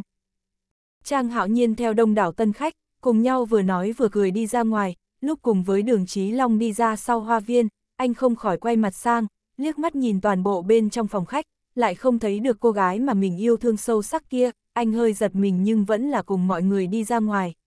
Lúc đi qua cây tùng đón khách, nhìn cha mẹ cùng đường Chí Long trước một bước đi về phía trước, vẻ mặt anh nở một nụ cười mới cất bước tiếp tục đi về phía trước, nào ngờ cánh tay nhẹ nhàng bị người nào đó nắm chặt, anh hơi giật mình. Đường khả hình khẽ cắn môi dưới, trong nháy mắt kéo Trang Hạo Nhiên nhanh chóng trốn phía sau cây tùng, bộc lộ ôn nhu thần bí tươi cười, nhưng trong nháy mắt vươn hai tay nhẹ kéo cổ của anh, kiếng chân khẽ hôn lên làn môi mỏng của người đàn ông này, thậm chí mím nhẹ môi, đem dịch rượu ngọt ngào như mật chậm rãi đưa vào bên trong đôi môi của anh. Hai tròng mắt Trang Hạo Nhiên lóe lên, anh hơi giật mình nếm dịch rượu ngọt ngào kia từ từ tràn vào miệng mình, trái tim phịch một tiếng vang, dịch rượu kia nhanh chóng bốc hơi, làm toàn bộ lồng ngực anh cảm giác trướng lên. Anh nhanh chóng vươn hai tay nhẹ ôm lấy hai bên hông cô, chậm rãi cúi xuống mút lất đầu lưỡi mang theo dịch rượu ngọt ngào của cô, tùy ý để lồng ngực nóng bỏng, lại nghiêng mặt nhiệt tình hôn lên đôi môi kia. Ưm, đường khả hình trái tim đập thình thịch, mắc cỡ mặt đỏ bừng, lại không khỏi nắm chặt hai cánh tay Trang Hạo Nhiên, cùng anh ôm hôn dần dần di chuyển tới gần sát cây tùng, lấp mình dưới bóng cây xanh mướt. Hai người cứ như vậy trốn ở dưới bóng cây ôm hôn, thỉnh thoảng còn nghe được tiếng sột soạt của quần áo cọ sát vào nhau, bóng dáng càng ngày càng sâu, bàn tay càng ngày càng tham lam. Trang hạo nhiên nhẹ mở hai tròng mắt, nhìn về phía người con gái trước mặt, khuôn mặt đỏ bừng say lòng người, có lẽ do tác dụng của rượu, có lẽ do ảo giác, anh cảm thấy than thể mình lại nổi lên biến hóa, lồng ngực như muốn nổ tung, không nhịn được cúi đầu nhìn vật nhỏ trong ngực, khàn khàn nói, vật nhỏ, em mà cứ như vậy anh sẽ chịu không nổi. Đường khả hình đỏ bừng mặt, lại có điểm không biết phải làm sao, chỉ muốn làm anh vui vẻ. Trang hạo nhiên nặng nề thở gấp, nhưng vẫn là nuốt khan nơi cổ họng, dần dần cúi xuống phía dưới, nhẹ chạm vào trán của cô, mang theo thanh âm khẩn cầu nói, ngày mai chọn nhẫn cưới, đến sớm một chút. Anh ở phòng làm việc chờ em, được không? Lời nói ái muội này, nồng đậm nhiệt liệt. Đường khả hình không khỏi lộ ra nụ cười ngọt ngào. Tưởng Vĩ Quốc cùng Diệp Mạn Nhi từ từ cất bước hướng ra phía bên ngoài đường ra, vừa nói vừa cười chờ đợi tân khách rời đi, sau đó bọn họ mới chuẩn bị ngồi lên xe, lại nhìn xung quanh không thấy Trang Hạo Nhiên, liền nghi ngờ hỏi, Hạo Nhiên đâu? Mọi người cùng nhau nhìn xung quanh, bao gồm cả mấy người lâm sở nhai. Không bao lâu sau, Trang Hạo Nhiên mặc âu phục màu đen, mặt bộc lộ tươi cười đi ra, nhìn về phía mọi người nói, tôi tới đây. Diệp Mạn Nghi nhìn về phía Trang Hạo Nhiên dáng vẻ mị lực như vậy, liền mỉm cười nói, nhanh lên một chút trở về đi. Đêm nay còn bận rộn. Được, Trang Hạo Nhiên nói xong, liền vươn hai tay mở nút áo âu phục, mới chậm rãi xoay người vô cùng tôn kính mỉm cười nhìn về phía đường Chí Long và Lý Tú Dung cha, mẹ, con về trước. Đường Chí Long mỉm cười nhìn về phía Trang Hạo Nhiên, gật đầu nói, hảo, đi đường cẩn thận. Vâng, Trang Hạo Nhiên nói xong, liền hơi xoay người trực tiếp ngồi lên chiếc xe Rolls Royce, khuynh khắc nhớ tới vừa cùng đường khả hình ở bên trong vườn ôm hôn, trong nháy mắt anh lại nặng nề thở dốc, cưỡng chế cảm giác nóng bỏng kia xuống, vươn tay nhẹ trống lên chán, nhớ tới dáng vẻ ngượng ngùng của cô, anh không khỏi bật cười. Đáy lòng dâng lên một cảm giác ấm áp. Đường khả hình vẫn như cú tựa trên thân cây, nghĩ đến câu nói ngày mai đi chọn nhẫn cưới đến sớm một chút, trái tim cô dường như mật ngọt, cười ngọt ngào. chương 1322, Đại kết cục 62 Tưởng ra, hai con rồng, Diệp Mạn Nghi đã trở lại tưởng ra, tiếp nhận danh sách phù dâu mà quản ga giao cho, bàn tay nhẹ nhàng đặt lên tờ danh sách, vẻ mặt quái dị nhìn về phía tam mệnh lý sư hỏi, theo như lời ba người thì hai con rồng ý chỉ. Một người trong tam mệnh lý sư nhìn Diệp Mạn Nghi nói, chúng ta vừa tiến hành lễ nạp thái, bấm tay tính được ngày sinh tháng đẻ của Tổng Giám Đốc Trang cùng tiểu thư đường ra, đây đúng là trăm năm khó có được gặp một ngày lành. Thế nhưng về sau bài vị đường ra rơi xuống, chúng ta cũng có thuyết pháp, bất kể là đẩy ngã, hay là tự nhiên mà ngã xuống, đều ý chỉ chữ, khế. Chúng tôi đều cảm thấy có dự cảm không tốt, liền tính toán lại một chút ngày lành tháng tốt, cư nhiên trong ngày này, xuất hiện hai con rồng, thậm chí còn gặp được điều may mắn một chút. Diệp Mạn Nghi nghe lời này, hai mắt lập tức chợt lóe, bà lẳng lặng suy nghĩ một chút, lại nhìn về phía ân Nguyệt Dung đang ngồi một bên, tâm tư nhẫn nhụi, cao hứng bừng bừng chọn hoa đồng trong danh sách. Bà tiệm lộ ra thần sắc nhàn nhạt, lại chính thức dặn dò quản gia nói, chị Chu, dặn dò giai kỳ chăm sóc khả hình cẩn thận một chút, mặc dù có đường chủ tịch cùng phu nhân lại không ít người hầu, nhưng vẫn là muốn một người có kinh nghiệm chiếu cố một chút. Quản gia nghe lời này, lập tức bộc lộ một chút nghi hoặc nhìn về phía Diệp Mạn Nghi. Diệp Mạn Nghi nhàn nhạt nhìn về phía quản gia, nói chị hãy theo như lời tôi nói mà làm. Vâng, quản gia tức khắc gật đầu, xoay người cất bước đi vào trong. Ân Nguyệt Dung lập tức cầm một tập danh sách phù dâu, vẻ mặt tươi cười Diệp Mạn Nghi nói, Mạn Nghi, bà nhìn xem. Danh sách mấy hoa đồng này, tôi thích nhất là tiểu bảo bối của tông gia, bà nhìn xem đôi mắt to tròn, mũi cao, cả người linh khí. Hơn nữa vừa mới tròn 5 tuổi, chính là thời khắc đáng yêu nhất. Tôi đã từng mang lễ vật sang nhà họ Tống hỏi, nếu như lúc con bé rảnh rỗi, tôi muốn mỗi ngày đều được ôm con bé đi ngủ, coi như cháu mình. Diệp Mạn Nghi không khỏi bật cười nhìn về phía ân Nguyệt Dung này tính tình trẻ con, bất đắc dĩ nói, bà cá tính như vậy, dáng vẻ kia còn chua đến lúc làm bà nội đâu ngươi. Chính là người mẹ trẻ tuổi. Ân Nguyệt Dung không để ý Diệp Mạn Nghi, tiếp tục chọn một hoa đồng khác ở lưu gia, lúc xoay người liền nhìn thấy tưởng vĩ quốc cất bước tiến vào, bà tức khắc chừng mắt liếc ông một cái, mới cầm danh sách hướng đại sảnh đi đến. Tưởng vĩ quốc nhàn nhạt xem bà liếc mắt một cái, lúc này mới trầm mặt đi về phía vợ mình hỏi, bà ấy tới đây làm gì thế thế? Chỉ cần bà ấy vừa tiến nhà của chúng ta, tôi liền đau đầu. Diệp Mạn Nghi nghe lời này, tiếp tục lật xem danh sách phù dâu, nhàn nhạt nói, bà ấy không đến, ông liền nghĩ về, bà ấy tới, ông lại đau đầu. Ông vẫn luôn là người mâu thuẫn như vậy. Tưởng Vĩ Quốc nghe lời này của vợ, khuôn mặt hơi lộ ra tình cảm không giống nhau, ngồi xuống sofa, nhìn về phía vợ mình nói, bà đúng là tâm tư phức tạp nhất. Tôi từ khi kết hôn tới bây giờ, vẫn luôn nghĩ về một người đó là bà. Diệp Mạn nghi mặt bộc lộ nụ cười nhàn nhạt, ngẩng đầu nhìn về phía chồng mình nói, vậy trước khi kết hôn. Tưởng Vĩ Quốc lẳng lặng nhìn về phía vợ. Diệp Mạn nghi không nói nữa, mà là lại nhàn nhạt lật xem danh sách phù dâu, nhìn thấy thiên kim của Lý ra mặc áo sơ mi tơ cùng chiếc váy dài màu màu lam đậm, mái tóc ngắn cá tính, tay cầm tờ giấy, như vậy khiêm tốn ngồi trên sofa, lộ ra nụ cười thuần khiết thiện lương. Bà tức khắc lộ ra vẻ vui mừng cầm tờ danh sách, nhìn về phía thiên kim của Lý gia này, yêu nhã mà cá tính. Lý Phủ mặc dù ra cảnh dày, lại cực kỳ nội liếm, bà liền nở một nụ cười, hài lòng nói, thiên kim Lý gia này, tôi thích, nhất là đứa nhỏ này vừa nhìn liền thấy là một người thiện lương. Tưởng Vĩ Quốc vẫn như cũ trầm mặc nhìn vợ mình. Diệp Mạn Nhi tiếp tục lật xem tư liệu, nhìn về phía đến bạn tốt Linh Hy của Tuyết Nhi, là em gái của Chủ tịch Hàn Tập đoàn Tài chính Hàn Thị, thân phận tốt, tính tình hoạt bát đáng yêu, nhìn cô mặc chiếc váy dài, búi tóc nhỏ đáng yêu ngồi trên sofa kiểu Âu, mặt bộc lộ nụ cười đúng mực lại đáng yêu, bà tinh tế nhìn về phía bạn tốt này của Tuyết Nhi, lại lần nữa hài lòng nói, nghe nói Chủ tịch Tập đoàn Tài chính Hàn thì cùng phu nhân cũng nhận lời mời tham gia hôn lễ của Hạo Nhiên và Khả Hinh, hôm nay còn phái người đưa tới lễ hỏi. Người em gái này của cậu ta, càng nhìn càng đáng yêu. Còn có người phiên dịch cho Khả Hinh trong trận thi dấu rượu đỏ của Lý Gia, cha hiện nay là cán bộ của Đại sứ quán nước Anh, bản thân cô cũng làm việc trong bộ ngoại giao, tính tình thiện lương đáng yêu. Diệp Mạn Nghi chuyên tâm nhìn về phía hình ảnh thiên kim Lý Gia, hình ảnh thanh xuân thiếu nữ, mặc đồng phục váy ngắn màu đen, tóc buộc cao đuôi ngựa, đứng trước bục phiên dịch, mặt bộc lộ nụ cười ngọt ngào, cùng khả hình lại cũng có vài phần tương tự, bà lại hài lòng gật đầu. Tưởng vĩ quốc rốt cuộc vào lúc này lên tiếng, nhìn về phía vợ nói, chuyện của hạo nhiên, bà vất vả như vậy làm gì, có chuyện gì giao cho Nguyệt Dung đi làm thì tốt rồi. Bà ấy mỗi ngày đều nhàn rỗi, chỉ biết hồ nháo. Bà xem một chút vì hôn lễ này mà bận đến ngủ cũng không ngon. Diệp Mạn Nghi chậm rãi ngẩng đầu, nhìn về phía chồng. Tưởng Vĩ Quốc rốt cuộc vào lúc này lại bộc lộ vẻ đau lòng chậm rãi nói, đều nói chủ tịch Trang hiểu được đau lòng bà xã, hình như tôi không hiểu đau lòng bà xã. Bà xem bà càng bận rộn, mệt mỏi, tôi càng đau lòng. Diệp Mạn Nghi rốt cuộc nhịn không được, mặt bộc lộ nụ cười tươi nhìn về phía chồng mình, sau đó mới lại dơ lên cái tên trong danh sách, hướng về phía chồng mình nói, ông xem một chút, thiên kim của Doãn gia, tên gọi là Hải Yến, cha là chủ tịch một kênh truyền thông nổi tiếng, cô bé này so với những đứa trẻ khác nội liếm thấp hơn một chút thế nhưng tính cách vô cùng tốt, vốn là muốn giới thiệu con bé cho thiên lỗi, lại không biết thế nào. Còn có thiên kim lãnh gia, cũng là bạn tốt của thiên tuyết nha chúng ta, mặc dù cha là chủ tịch ngân hàng, thế nhưng tính tình một điểm kiêu ngạo cũng không có, thập phần thiện lương yêu nhã, tôi lần trước nói chuyện với con bé mấy câu, thoáng cái liền thích đứa bé này. Ân Nguyệt Dung đứng ở đó bên cạnh, tay phủng lưu ra tiểu cầu vòng ảnh chụp, nhìn qua bên này, hơi cao giọng nói, kia đồng ra tiểu thư thì thôi, ta không muốn nhìn thấy nàng.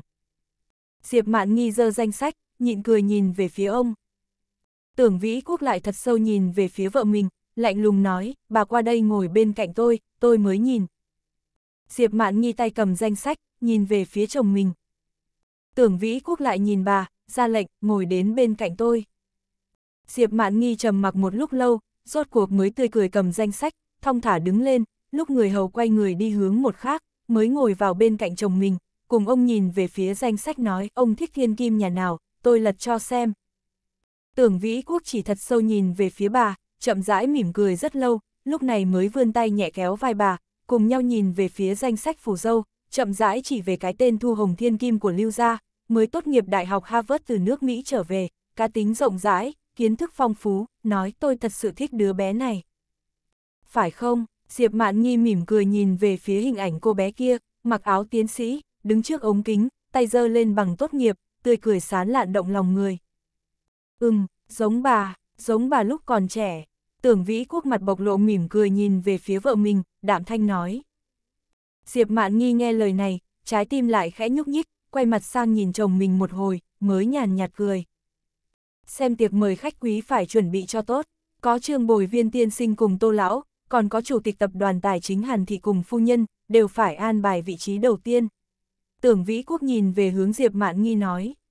Tôi sẽ từ từ an bài, ông yên tâm đi. Diệp Mạn Nghi dơ danh sách lên khẽ đặt trên sofa, hôm nay chọn phù dâu tạm đến đây, bà chậm rãi ngẩng đầu nhìn ân Nguyệt Dung hỏi, Nguyệt Dung, cha mẹ bà lúc nào thì đến đây?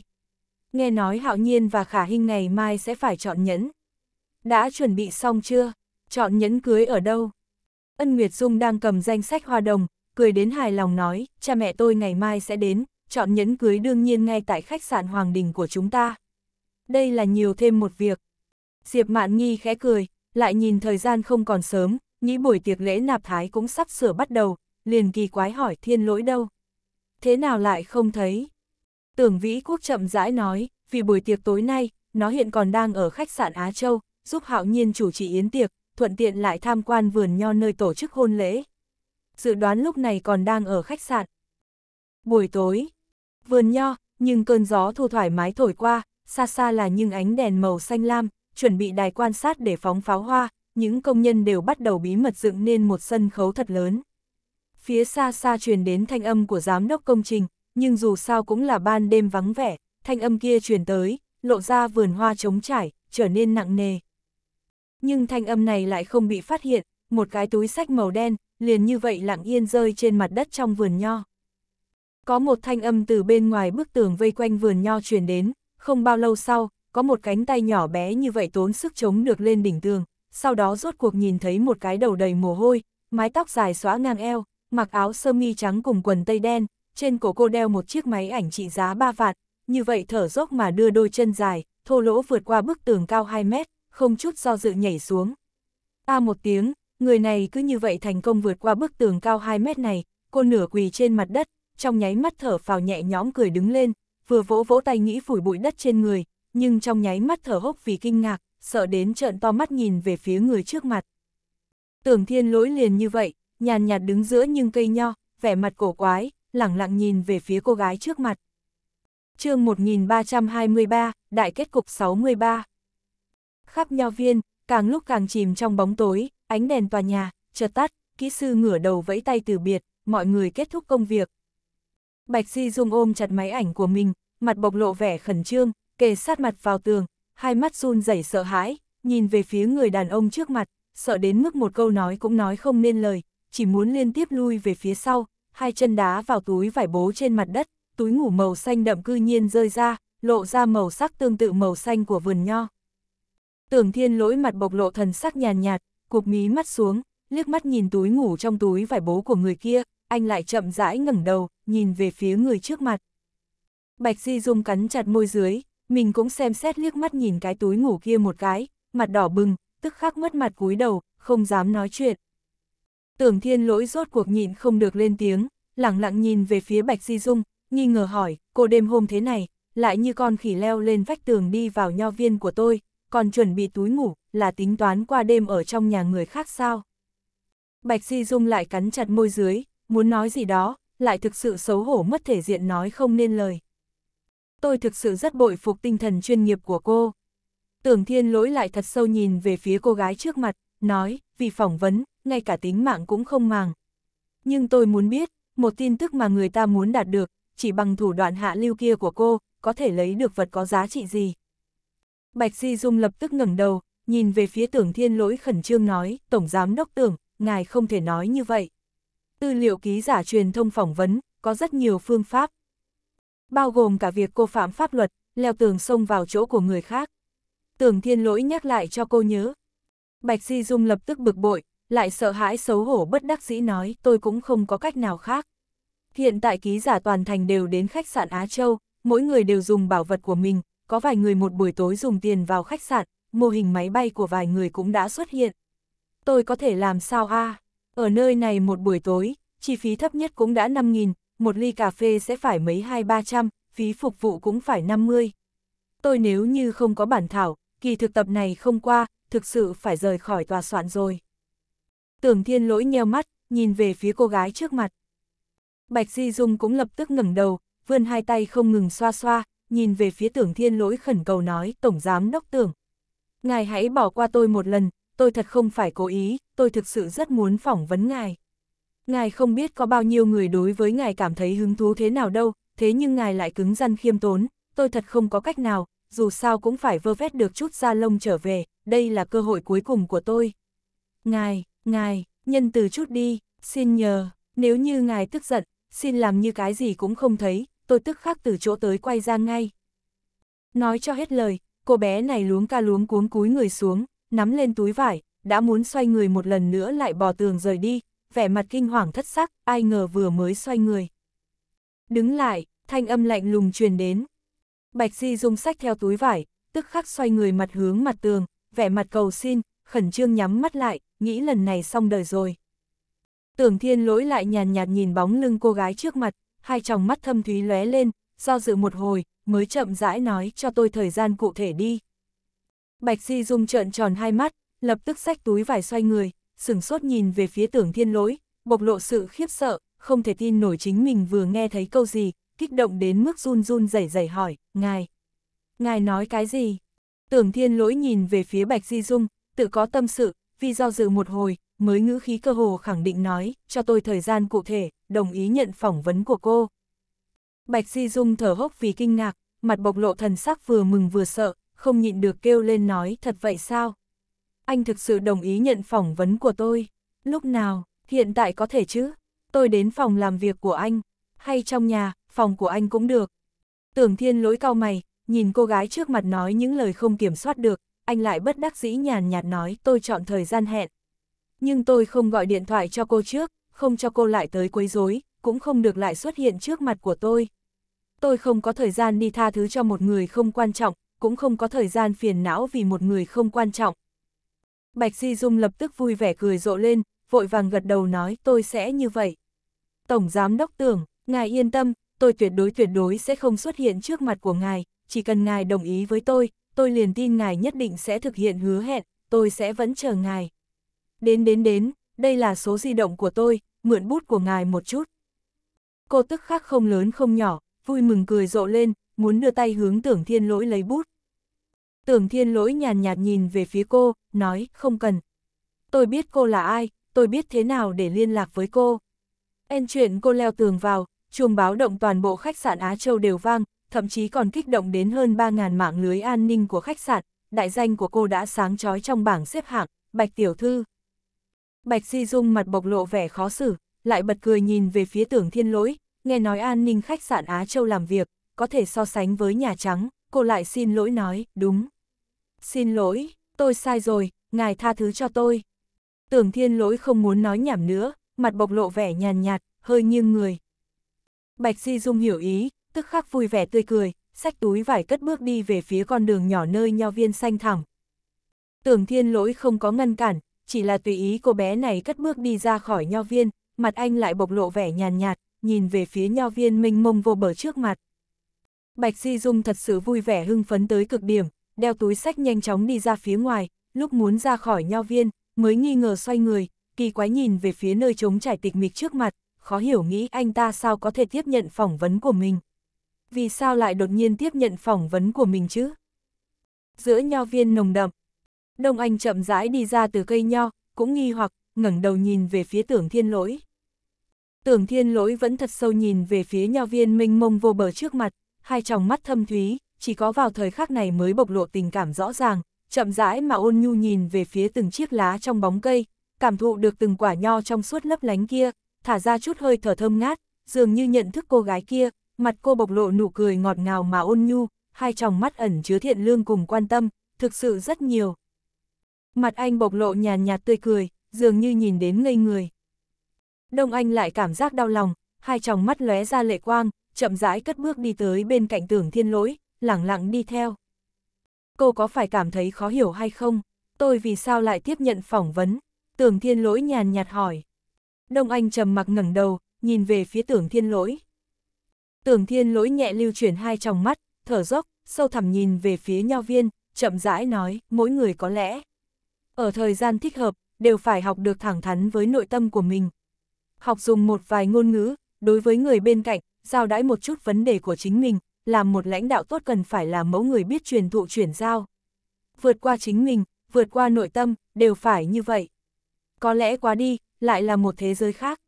Đông Anh nước mắt lăn dài, cô cuối cùng nghẹn ngào nói, có đôi khi, tôi rất hận như mà tiểu thư. Cô ấy đã giết chết hạnh phúc của anh.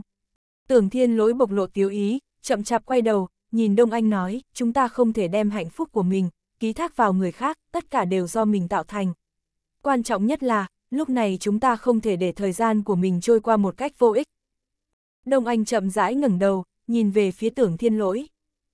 Tưởng thiên lỗi lại thật sâu nhìn về phía vườn nho trước mặt, nghe nói thân nho cùng gốc nho có sự tương hỗ lẫn nhau, hai bên sẽ phân cao thấp đi xuống, ngươi càng khát cầu ánh mặt trời, ta lại càng phải mở rộng trong thế giới hắc ám dưới lòng đất, đây là một thế giới mâu thuẫn, đây cũng là một thế giới chân thực. Anh thỉnh thoảng cảm thấy tịch mịch, nhưng chỉ cần suy nghĩ một chút thế giới này vẫn còn người nào đó trong thế giới hắc ám kia cùng mình phân cao thấp, mặt anh liền bộc lộ nụ cười nhàn nhạt, cất bước đi về phía trước nói, đi thôi. Thời gian cũng không còn sớm, tiệc nạp thái sắp bắt đầu. Ngài nghỉ ngơi một chút đi, Đông Anh đau lòng nhìn tưởng thiên lỗi nói, cũng đã cảm mạo phát sốt đến tình huống này rồi. Tưởng thiên lỗi nhẹ thở dốc, ho nhẹ hai tiếng, mới chợt cảm thấy nơi cổ họng mình như đang bị hỏa thiêu, nhưng anh vẫn tỏ ra như không có việc gì cất bước đi về phía trước, nói, không có việc gì. Tôi xem tình hình yến tiệc ổn định, sẽ rời đi. Anh nói xong, người cũng đã nhàn nhạt cất bước đi về phía trước, thân ảnh dần biến mất trong nho viên. Đông Anh đứng trong nho viên, ngẩng đầu nhìn về phía dáng vẻ cô chấp trầm mặc của tưởng thiên lỗi, cô bất đắc dĩ nhẹ thở dốc một hơi, nhưng vẫn từ từ cất bước theo anh cùng đi về phía trước. Đại sảnh khách sạn Á Châu. Tiệc nạp thái sắp sửa bắt đầu, đại sảnh khách qua lại như nước, quản lý cùng nhân viên đang cấp bách làm việc, trước sân khấu tối nay cũng thập phần bận rộn, tất cả đồng nghiệp đều nhao nhao tiếp đãi quý khách vào, một chiếc Rolls Royce màu bạc chậm rãi dừng trước thảm đỏ khách sạn, Trang Hạo Nhiên tối nay mặc Âu phục màu đen, cùng sơ mi màu lam đậm, trước ngực cài đóa hoa tơ tằm lam đậm, tiêu sái đẹp trai thời thượng cất bước đi ra thảm đỏ, anh ngẩng đầu nhìn về phía ánh đèn huy hoàng phòng tiệc số 1. Chiết xạ ra bầu không khí sôi nổi vui mừng, tức khắc vui sướng cảm động tươi cười, tay hơi cài nút áo âu phục, từ từ cất bước đi về phía trước. Khủ khủ, trong đại sảnh, truyền đến một trận tiếng ho khan trầm thấp.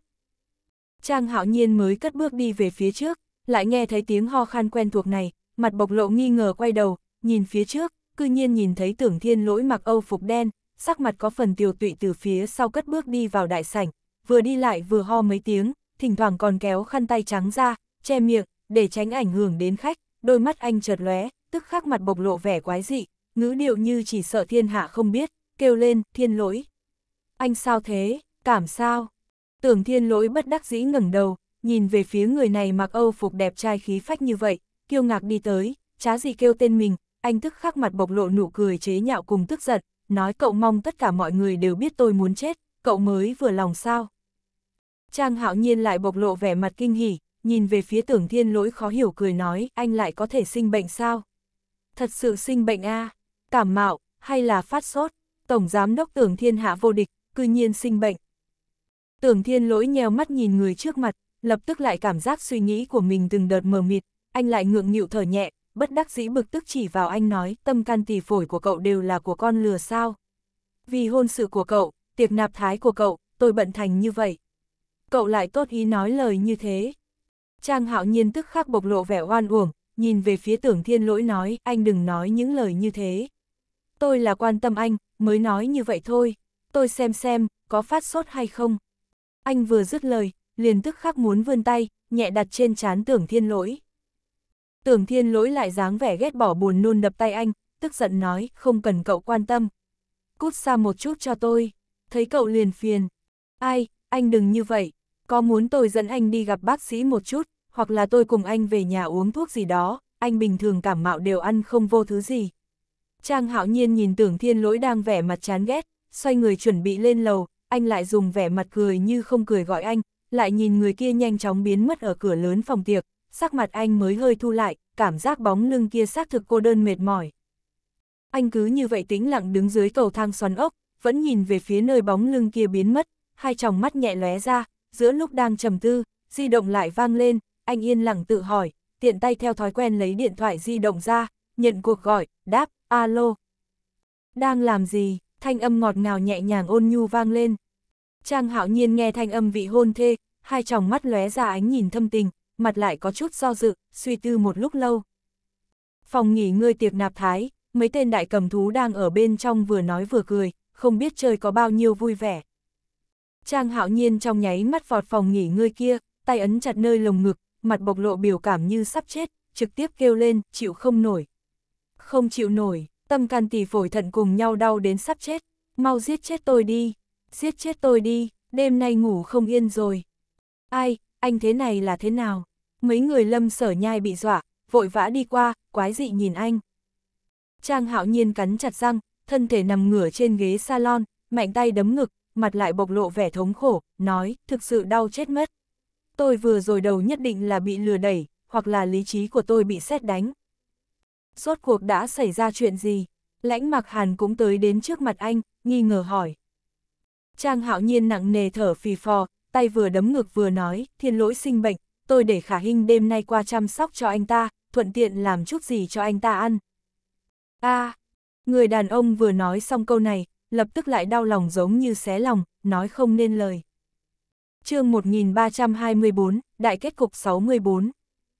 Buổi tối, một vầng trăng sáng như chiếc mâm bạc, cao cao trên trời, tịch mịch mà cao thượng lóe ra ánh sáng nhu hòa, từng trận hương thơm hoa oải hương cuối thu quét tới, bay xa thật xa. Tòa nhà tưởng ra, bãi cỏ minh mông vô bờ, giữa đài phun nước trận trận nước vọt lên, vô số ánh đèn tươi đẹp, trận trận lóe ra ánh sáng tôn quý, tối nay tiệc nạp thái, cho nên các nơi một mảnh tĩnh lặng, ngoại trừ Oscar chạy băng băng giường như muốn truyền tin. Phòng ngủ biệt thự xa hoa. Một trận tiếng ho khan trầm thấp, liên tục truyền đến, không có bao lâu, liền nghe thấy một trận tiếng cửa mở, tưởng thiên lỗi tắm rửa qua, mặc t-shirt ngắn màu trắng, quần thường màu đen, có vài phần tiêu tụy từ phòng tắm cất bước đi ra, vừa đi về phía giường ngủ, vừa cảm giác nơi cổ họng như lửa đốt, lại ho mấy tiếng, thân thể trận trận phát nhiệt, trên trán thậm chí tràn ra một chút mồ hôi, anh lại trực tiếp trầm mặc đi tới, cầm một phần văn kiện bên cạnh đèn bàn lên, mệt mỏi ngồi trên ghế dựa, nặng nề thở một cái. Cảm giác mắt hoa, lúc này mới chậm rãi mở văn kiện, muốn tập trung tinh thần nhìn về phía nội dung bên trong. Ý nghĩ càng lúc càng ảm đạm, cảm giác nơi cổ họng nóng rực hơn. Tưởng thiên lỗi tay cầm văn kiện, nhắm hai tròng mắt lại, tựa vào ghế, cảm giác không thoải mái, càng lúc càng kích thích chính mình khó chịu đến hoa mắt, không quen sinh bệnh nên không cách nào tự chủ cảm giác, anh thở dốc. Tiếng gõ cửa chậm rãi vang lên, ôn nhu mà thanh thúy. Tưởng thiên lỗi nghe tiếng gõ cửa xa lạ này, hơi kỳ quái ngẩng cao đầu, liếc mắt nhìn cửa phòng khách phía xa xa, nghĩ tối nay bởi vì tiệc nạp thái, tất cả mọi người đều đến khách sạn, hơn nữa chính mình vừa rồi cũng phân phó trợ lý quản gia, cho người hầu đều đi nghỉ ngơi, không có việc gì đừng qua quấy giày, là ai? Đôi mắt anh nhẹ lưu chuyển, nhưng vẫn là nhàn nhạt đáp tiến vào. Cửa, vẫn đóng chặt, lại truyền tới một tràng tiếng gõ cửa. Tưởng thiên lỗi hơi nhíu mày, nhìn về phía cánh cửa phòng vẫn đóng chặt, lại nghi ngờ nghĩ nghĩ, lúc này mới buông văn kiện, nhấc chăn đệm lên, trầm mặc đi về phía cửa phòng, thân ảnh trải qua bóng tối trong sảnh đón khách, rốt cuộc đi tới trước cửa phòng, tay cầm khóa tâm, nhẹ mở ra, lại vì nhìn thấy người trước mặt, hai mắt chợt lóe, kinh ngạc nói không nên lời. Đăng, đường khả hình mặc sơ mi đỏ thấm cùng quần đùi đen, mang giày đế bằng, tay ôm một bó hoa hồng đỏ, trong nháy mắt tựa như sao trên trời, xuất hiện ở cạnh cửa, mặt bộc lộ nụ cười ngọt ngào mà nụ cười, nhìn về phía người trước mặt nói, đến thăm người bệnh. Ngạc nhiên không? Tim tưởng thiên lỗi bỗng chốc thoáng qua một dòng nước ấm, mặt bộc lộ thần sắc trá dị, nhìn về phía đường khả hình cư nhiên tựa như mộng xuất hiện ở trước mặt của mình, anh kinh ngạc đến nói không nên lời, chỉ là không thể tin nổi nhìn về phía người trước mặt. Đường khả hình lại tươi cười ngọt ngào xinh đẹp, tay ôm bó hoa hồng, đứng trước mặt tưởng thiên lỗi, cố ý làm động tác bất đắc dĩ, nói, nhà anh thực sự quá lớn, nếu như không phải có Oscar, em thực sự sẽ lạc đường. Đi mệt chết đi được. Tưởng thiên lỗi mặt bộc lộ vẻ sâu thẳm, nhìn về phía cô gái trước mặt, dường như vẫn không thể tin được. Đường khả hình cũng trầm mặc liếc mắt nhìn tưởng thiên lỗi một cái, mới bộc lộ nụ cười ôn nhu mà quan tâm, chậm rãi cầm trong tay bó hoa hồng kia, đưa cho người đàn ông trước mặt nói, em đang suy nghĩ, qua đây thăm bệnh, nên mang chút gì đó. Tặng cho anh. Tưởng thiên lỗi nghe lời này, lặng lặng cúi đầu, nhìn về phía bó hoa hồng tươi đẹp ở trước mặt của mình, trận trận hương thơm ngọt ngào ôn nhu đánh về phía chính mình, đôi mắt anh chợt lóe, không khỏi hồi tưởng lại quãng thời gian chân quý tổng quá khứ, anh cay đắng tươi cười, nhàn nhạt nói, không ngờ, anh còn có cơ hội nhận được hoa hồng của em. Đường khả hình dơ hoa hồng, nghe lời này, sắc mặt thu lại, suy nghĩ một hồi, mới lại tươi cười, đem bó hoa tươi đẹp đưa đến trong lòng người đàn ông trước mặt, mới nói, nhanh lên một chút nhận lấy. Tay em ôm mệt chết đi được. Tưởng thiên lỗi nhấc mí mắt, ôn nhu nhìn cô gái trước mặt một cái, lúc này mới tươi cười, chậm rãi vươn tay, tiếp nhận bó hoa hồng kia, có vài phần cảm động mà vui vẻ nói cảm ơn em. Không cần cảm ơn, đường khả hình trong nháy mắt lại giơ túi ni lông trong tay lên, lại kinh hỉ tươi cười nói, Trang Hạo Nhiên nói, anh cảm mạo phát sốt khẩu vị không tốt, trong lòng em đã nghĩ, qua đây làm chút gì cho anh ăn. Anh vận khí tốt, cha em hiện ở bên cạnh, ông ấy trực tiếp chuẩn bị hành lá cùng rau dại dưới chân núi, để em qua đây nấu cho anh ăn. Còn có khoai đêm nay đích thân em vừa mới đào, ăn rất ngon. Cô nói cho hết lời, còn bộc lộ dáng vẻ khoa trương mà thần bí.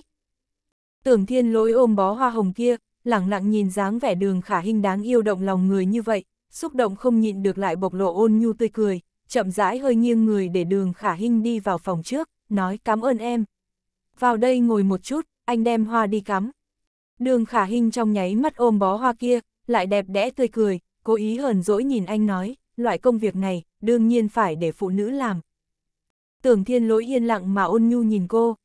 Đường khả hình cũng ngọt ngào tươi cười nhìn về phía anh, bỗng chốc ôm bó hoa hồng đỏ tươi đẹp kia, không chút khách khí đi vào phòng tưởng thiên lỗi, đầu tiên là nhìn quanh căn phòng ngủ xa hoa kiểu Âu, bài trí sang trọng, sạch sẽ ngăn nắp, thê luyện phong cách thời thượng ca tính, phòng ngủ chỉ sáng lên hai bóng đèn tường, ánh lên ánh sáng màu lam đậm, cô lại tươi cười, đi tới cạnh cửa sổ sát đất, tìm được một bình hoa sứ màu bạc, đem giấy gói bó hoa hồng kia gỡ ra, ôn nhu cắm vào bên trong bình hoa.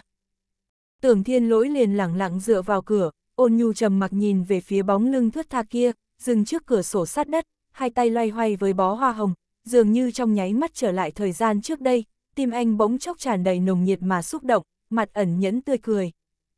Đường khả hình loay hoay cắm hoa hồng xong, bỗng xoay người, tươi cười, nhìn tưởng thiên lỗi nói, được rồi. Để bó hoa này thật tốt cùng anh vài ngày, em hiện tại phải đi vào bếp nhà anh, chuẩn bị đồ ăn cho anh. Anh mau dẫn đường, dự đoán ở thật xa. Tưởng thiên lỗi không nhịn được mỉm cười, hơi nghiêng người nói, đi thôi. Đường khả hình thật sâu nhìn anh một cái, lúc này mới nhấc túi màu trắng lên, theo anh cùng nhau vừa nói vừa cười đi ra ngoài, tưởng ra xác thực huy hoàng khí phái, biệt thự thiết kế kiểu Âu, mỗi nơi đều lộ ra vẻ xa hoa, phòng khách rộng lớn, đậm cách thức cung điện hoàng gia, ngay cả phòng bếp cư nhiên cũng nơi trốn đều xa hoa mà tinh xảo, toàn bộ bộ đồ ăn hoàng thất, lóe ra ánh sáng tôn quý, phòng nghỉ ngơi của đầu bếp, bên trong còn treo một bức tranh quý báu, một đóa hoa hồng, nhẹ cắm trong bình thủy tinh. Bên cạnh trên giá đồ cổ, là dụng cụ pha cà phê, còn có các loại hạt cà phê từ khắp nơi trên thế giới, được đặt thập phần đẹp mắt và ngăn nắp.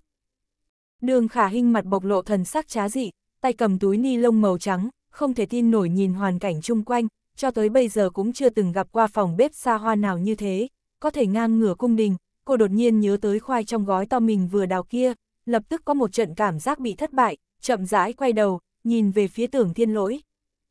Tưởng thiên lỗi cũng lẳng lặng dựa bên cạnh cửa bếp, hai tay đút túi quần, nhìn về phía thần sắc trá dị của đường khả hình, hiểu ý cô, không khỏi cúi đầu bật cười.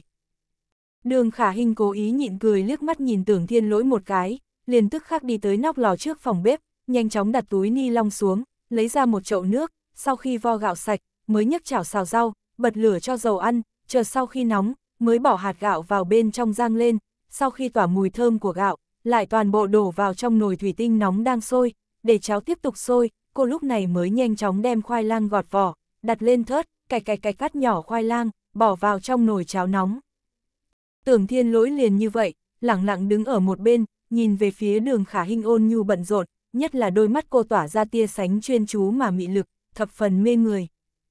Đường khả hình lại nhanh chóng lấy củ sen ra, nhanh chóng gọt vỏ, thái sợi, cho giấm, đường, dầu vừng, lại bỏ tương thịt bò, tỏi hạt cùng nhau trộn, đựng vào giữa đĩa nhỏ màu trắng, sau đó lấy ra bí đỏ non mềm mà cha mang từ dưới chân núi trong thôn trở về. Sau khi trụng qua nước sôi, liền đặt một góc nhỏ trong đĩa sứ nhỏ, chỉ là đơn giản vừng, tỏi, gừng, dầu, muối đến kết hợp, lại tạo thành một hương vị đặc thù đến vậy, không có bao lâu sau, cháo sôi thơm phức, cô lại tức khắc đem thịt cá chạch mà cha cô đã cắt. Thành thạo cuốn thành một cuốn, đặt vào trong chảo dầu nóng chiên thành vàng óng, nổi bật trong đĩa trắng tuyết, tạo thành từng cuốn bao quanh lại đem vân nhĩ nấu chín, sau đó trộn rau, đặt bên cạnh cá chạch.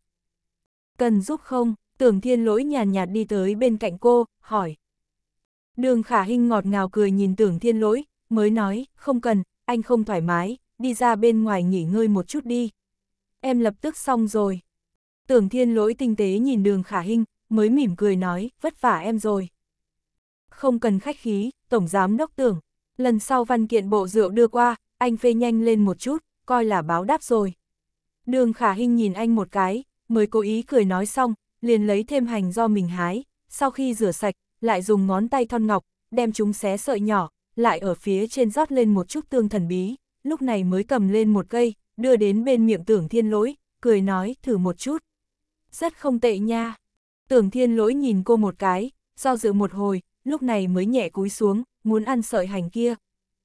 Đường khả hình lại khuynh khắc đem sợi hành kia đưa vào miệng mình, say sưa nhai mỹ vị, thập phần khoa trương chịu không nổi nói, trời ạ. Hành này kết hợp với tương của cha em, thật sự là ăn rất ngon. Tưởng thiên lỗi không nói gì nhìn về phía người này, có chút trẻ con, rốt cuộc mới vui vẻ tươi cười. chương 1325, Đại kết cục 65 Buổi tối, cảm giác mát mẻ, lại yên lặng như nước. Đường Khả Hinh đem cháo khoai nóng bỏng cùng một số đồ ăn sáng tinh xảo trực tiếp đưa lên bàn ăn gần cửa sổ sát đất tầng 2. Sau khi cẩn thận bày bát đũa, nghe Trang Hạo Nhiên nói tưởng thiên lỗi luôn luôn thích dùng bữa sáng cùng bữa khuya ngay tại phòng mình, cô mới cẩn thận đem một chén nước ấm bày lên bàn, cảm giác bó hoa hồng kia tươi đẹp nở rộ, lúc này cô mới nở nụ cười xoay người nhìn tưởng thiên lỗi nói Tổng Giám Đốc Tưởng, mau tới đây ăn. Tưởng thiên lỗi dựa vào cạnh cửa, nghe đường khả hình kêu, anh nở nụ cười ôn nhu, chậm rãi đi tới trước cửa sổ sát đất, nhìn về phía bàn ăn thủy tinh kiểu Âu, bên trên bày những đồ ăn tinh xảo, còn có cả cháo khoai nóng bỏng, người thấy vị thơm chua chua ngọt ngọt, rốt cuộc anh cũng có chút thèm ăn, mặc dù vẫn còn cảm giác ảm đạm khó chịu, nhưng tinh thần cũng đã khá hơn một chút, liền chậm rãi ngồi lên ghế. Đường khả hình tức khắc cầm lên chén nhỏ ngà voi màu trắng, múc một bát cháo để trước mặt anh, lại cẩn thận lấy một cái thìa, một đôi đũa đặt xuống chiếc đĩa bên cạnh, hướng về phía thức ăn. Tưởng thiên lỗi lẳng lặng liếc mắt nhìn đường khả hình, lúc này mới cầm chén nước ấm nhấp một ngụm, mỉm cười nói cảm ơn em. Đường khả hình ngồi đối diện bàn ăn, tinh tế nhìn về phía anh, ôn nhu cười nói, không cần cảm ơn, nhanh ăn đi. Ăn xong rồi, sớm một chút nghỉ ngơi, ngủ một giấc, ngày mai sẽ tốt.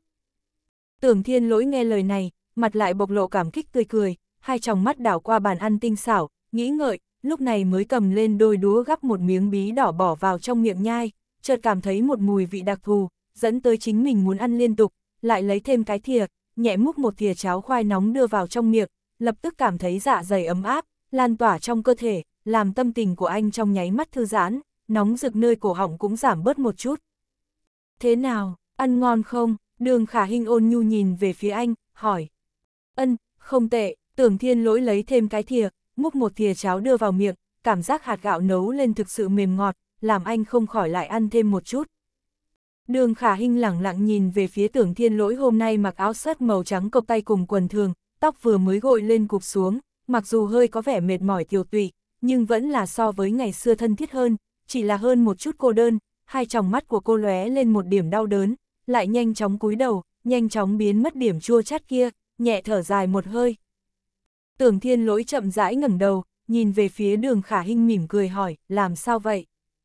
Đường khả hình tức khắc ngẩng đầu, nhìn về phía tưởng thiên lỗi mặt bộc lộ nụ cười ôn nhu nói, không có việc gì, anh cứ ăn từ từ thôi.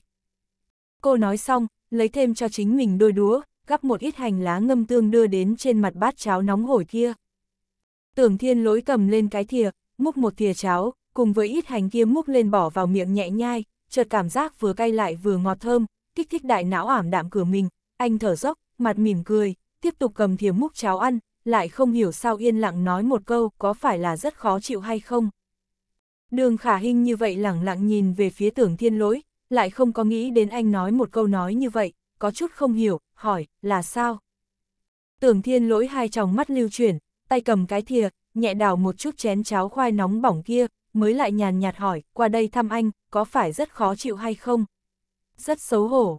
Đường khả hình sửng sốt nhìn về phía anh, nói, sao anh có thể như nghĩ như vậy? Tưởng thiên lỗi chậm rãi ngẩng đầu, nhìn về phía cô mỉm cười nói, hạo nhiên bảo em tới đi.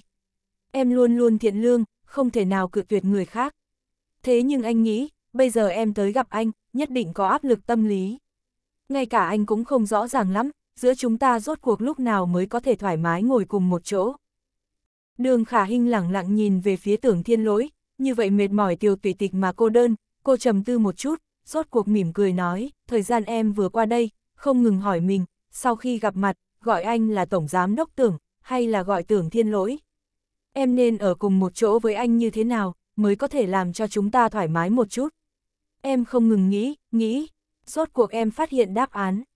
Tưởng Thiên Lỗi thật sâu nhìn về phía cô gái trước mặt.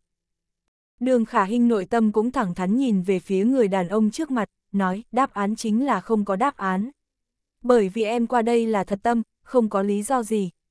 Mặc kệ quá khứ, hiện tại, hay là tương lai. Anh vĩnh viễn đã đi qua cuộc đời em một đoạn thời gian. Loại cảm giác này, nó thậm chí so với tình yêu còn chân quý hơn. Quá khứ một chút vị đạo kia, ca khúc kia, đều làm xúc động trái tim em. Anh vẫn là một người quan trọng trong cuộc đời em. Hiện tại từ từ thành thục, lại hồi tưởng đến đoạn thời gian chúng ta từng yêu nhau, kỳ thực anh yêu chính là lý tính mà kiên định, mà em nhưng vẫn dựa vào chút mộng ảo cùng ấu trĩ, dự đoán không thể ở cùng một người đàn ông thành thục như vậy. Em như thế nào lại không bị thương? Ở đây nhất định có sự thiếu hụt, sai lầm của em. Tưởng thiên lỗi lại trầm mặc nhìn về phía cô gái trước mặt. Đường khả hình bộc lộ kia cảm xúc tươi cười, chậm rãi vươn tay nhẹ nắm lấy bàn tay tưởng thiên lỗi để trên bàn cơm, lại thật tình nói có thể hay không. Em như vậy thưởng thức cùng tôn kính một người đàn ông, nói những lời này quá làm kiêu. Nhưng em muốn nói, từng mất đi đối phương, với anh, với em. Kỳ thực đều là một loại tiếc nuối. Em có bao nhiêu quý trọng, hôm nay có thể làm cho anh một bữa cơm, bởi vì không phải chỉ có một mình anh muốn bù đắp. Tưởng thiên lỗi hai tròng mắt ngấn lệ nhìn về phía cô. Đường khả hình hai tròng mắt cũng ngấn lệ, lại động tình nhìn về phía người đàn ông trước mặt, nói em đi Anh Quốc, thỉnh thoảng lúc mệt mỏi, thường dùng một bài thơ cổ vũ chính mình, yêu đi, tựa như chưa từng thụ quá thương như nhau.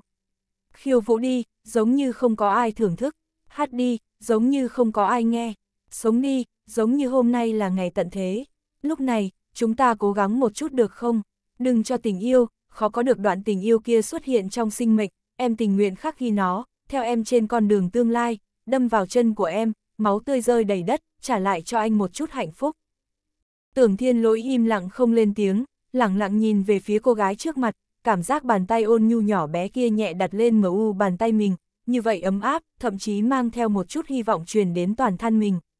Hai tròng mắt anh ngấn lệ, cố gắng kiềm chế những cảm xúc đang dâng trào trong người, suy nghĩ rất lâu mới chậm rãi nhẹ nắm lấy đôi tay mềm mại nhỏ bé kia, do dự, giấy dụa một lúc lâu, cuối cùng anh nhắm hai mắt lại, nghẹn ngào cảm động rơi lệ. Chính mình nội tâm sông dũng cảm xúc, tư tưởng rất lâu, chậm rãi nhẹ nắm khởi kia mềm mại tay nhỏ bé, như vậy quyến luyến dán chính mình điều tụy khuôn mặt, kỳ lật do dự, kỳ lật giấy dụa hậu, cuối cùng nhắm lại hai tròng mắt, run rẩy nghẹn ngào cảm động rơi lệ. Đường khả hình cũng thật sâu nhìn về phía người đàn ông trước mặt, cảm giác bàn tay mình để trên gương mặt nóng bỏng của anh, đau lòng anh ốm đau, đau lòng tất cả của anh, nhưng cũng chỉ không nói được gì rơi lệ, thậm chí nhẹ nhàng nức nở. Âm thanh nức nở nở kia, ấm áp được tựa như đóa hoa sáng sớm, như sao trên trời, như những cánh hoa đỏ tươi, chậm rãi vây quanh người đàn ông này, cô thậm chí không thể nói thêm nữa một lời nào, cứ như vậy lẳng lặng cùng anh. Trên thế gian này có thật nhiều loại tình cảm, tình yêu không thể nghi ngờ là một loại hạnh phúc xung quanh chúng ta. Thế nhưng thế gian này, còn có thật nhiều tình cảm, nó so với tình yêu mộng ảo lướt nhẹ, hơn một điểm giống như cỏ xanh triển vọng.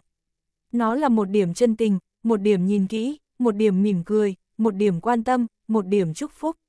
Nó thậm chí là ngăn trong ngực chúng ta, bất luận tình cảm gì cũng không thể thay thế chân quý tiếc nuối đó.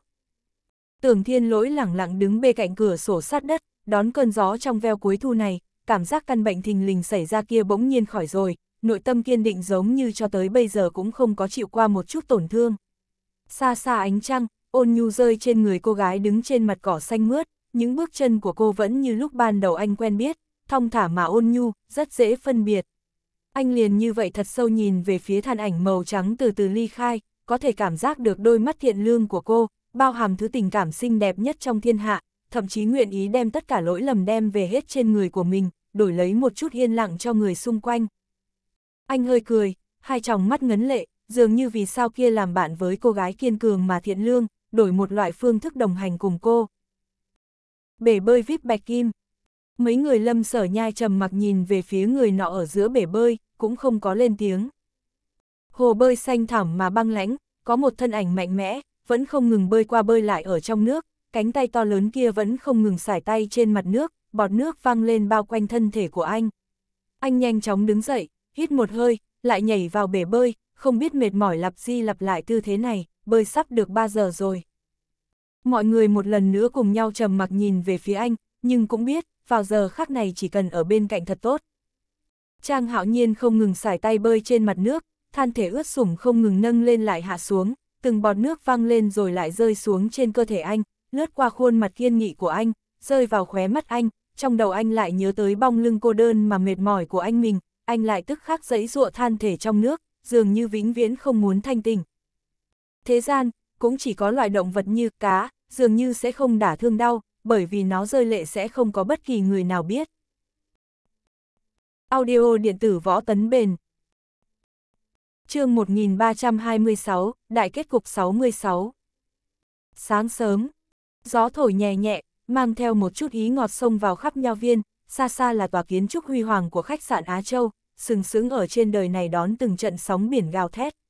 Nơi này sắp sửa cử hành hôn lễ thế kỷ được toàn cầu quan tâm, tổng giám đốc trang của tập đoàn Hoàn Cầu, còn có rất nhiều thân phận khác nhau, tước vị quý tộc Anh Quốc, người thừa kế duy nhất của tập đoàn tài chính Ân Thị, lại kiêm tổng giám đốc tập đoàn Hoàn Cầu, thân phận có thể nói vô cùng chói mắt, hơn nữa cá nhân anh rất nghị lực, cho nên hôn lễ thế kỷ này trở thành một khắc mà vạn chúng chờ mong.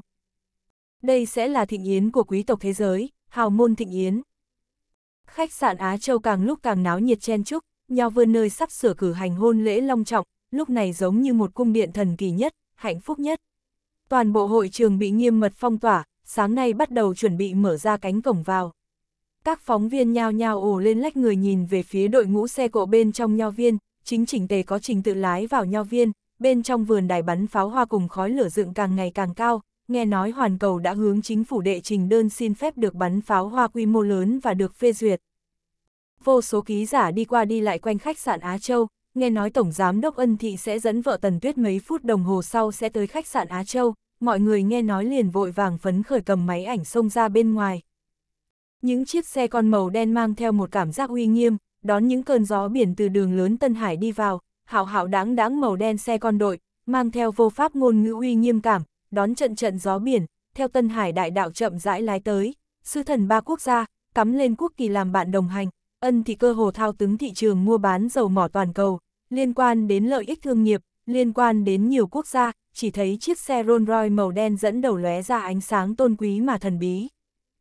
Cửa thang máy trong nháy mắt mở ra, Trang Tĩnh Vũ dẫn đầu sốt ruột đi ra, ân Nguyệt Dung lĩnh cùng mấy người nhà than thiết ân ra trong nước nhanh chóng đi ra. Tiếp sau đó là tưởng vĩ quốc cùng Diệp Mạn Nghi, không thấy tưởng thiên lỗi cùng hạo nhiên, mọi người nhao nhao đi tới trước thảm đỏ, chậm rãi đợi một người như Thái Sơn đang đến. Những chiếc xe màu đen chậm rãi dừng lại trước thảm đỏ, từ trong xe một đôi vợ chồng cao tuổi ước chừng ngoài 90, lão nhân ra đi đầu mặc âu phục đen, trong tay cầm một chiếc gậy gỗ khắc rồng phượng, một dáng vẻ hiền lành mà uy nghiêm. Phu nhân tuy mái tóc đã ngấn bạc, nhưng vẫn lộ ra khí chất ung dung cao quý, vẻ mặt nở nụ cười hiền từ. Trang tính vô cùng ân nguyệt dung tức khắc tiến lên đỡ hai lão nhân ra, tôn kính mỉm cười kêu cha, mẹ. Tưởng vĩ quốc dẫn vợ, còn có người nhà ân gia làm lãnh đạo cấp cao TT ập đoàn hoàn cầu cũng đồng thời hơi cúi đầu chào hỏi. Hai lão nhân ra nở nụ cười hiền từ, liếc nhìn mọi người một lượt, lúc này mới nhìn về phía con rể Trang Tính Vũ hỏi, Hạo Nhiên đâu? Trang Tính Vũ tức khắc mỉm cười nói, Hạo Nhiên và Thiên Lỗi sáng sớm hôm nay có hội nghị trọng yếu phải chủ trì, nó biết cha luôn thích dáng vẻ cẩn thận làm việc của nó, liền nói họp xong sẽ qua đây gặp ông ngoại bà ngoại. Hai ông bà quả nhiên mỉm cười gật đầu, sau đó nhìn về phía dáng vẻ ôn nhu mà lễ độ của con rể, dung giọng điệu bình ổn mà uy nghiêm hỏi, gần đây cậu có còn đánh thằng bé? Có mắng thằng bé hay không? Trang tính vũ hơi giật mình, do dự một hồi, liền còn là thành thật mỉm cười gật đầu nói, không có đánh, chính là thỉnh thoảng. Giáo huấn một chút, ông nhưng những là bộc lộ chút nghi hoặc, tinh tế liếc mắt nhìn con rể một cái mới mỉm cười, chậm rãi nói, cậu nói không đánh, không mắng thằng bé, tôi cũng không tin, từ nhỏ đến lớn gậy gộc cậu đánh trên người thằng bé so với vườn trúc bên ngoài nhà có khi còn nhiều hơn, đôi khi cứu cũng không được. Trang tính vũ nghe, chỉ đành cùng mọi người mỉm cười, sau đó cùng nhau hướng bên trong khách sạn Á Châu đi đến. Phòng hội nghị số một tập đoàn Hoàn Cầu. Trang hạo nhiên hôm nay mặc âu phục màu đen, áo sơ mi màu xanh nhạt, lại cài châm hoa lên túi áo, vẻ mặt bộc lộ thống khổ, theo thói quen tay cầm văn kiện cất bước đi ra thang máy, thỉnh thoảng còn muốn cử động cánh tay, cảm giác cánh tay vẫn còn đau đớn, khiến anh khó chịu thở dốc. Tiêu đồng cùng Trương Thục Giao hai người nhìn anh, không khỏi cúi đầu cười trộm, tay ôm văn kiện đứng phía sau anh, cũng nhịn không được cười. Tưởng thiên lỗi mặc âu phục đen, châm hoa màu xanh, trên tay cũng cầm văn kiện đi ra từ một chiếc thang máy khác, vừa mới xoay người dặn dò Đông Anh cùng mấy vị lãnh đạo, sau hội nghị hẳn là phải chú ý nội dung một chút, thoạt nhìn tinh thần sáng láng, không còn có vẻ mệt mỏi dã rời cùng tiêu tụy như hôm qua, thỉnh thoảng lúc cùng người khác nói chuyện, còn hơi bộc lộ nụ cười nhẹ. Trang hạo nhiên cũng như người nhìn về phía tưởng thiên lỗi, cảm giác anh hôm nay thần thái phấn khởi, lại lại khôi phục khí thế nghiêm nghị của một tổng giám đốc như ngày xưa, thỉnh thoảng lúc nói chuyện còn nở nụ cười rất thoải mái. Vừa do dự suy nghĩ cái gì, ai biết bị Tô Lạc Hoành vô ý va chạm, anh đau đến thiếu chút nữa đánh người nhìn Tô Lạc Hoành, ai, cậu nhẹ một chút. Đau chết tôi. Tưởng thiên lỗi nghe thanh âm này, chậm rãi nhìn về phía Trang Hạo Nhiên vẻ mặt bộc lộ sự thống khổ, nhất là anh nhẹ ấn cánh tay trái của mình, dường như thật sự đau đớn không chịu nổi, liền chậm rãi đi qua, nhìn về phía người trước mặt, bộc lộ vẻ mặt cười như không cười, nhàn nhạt nói, thế nào?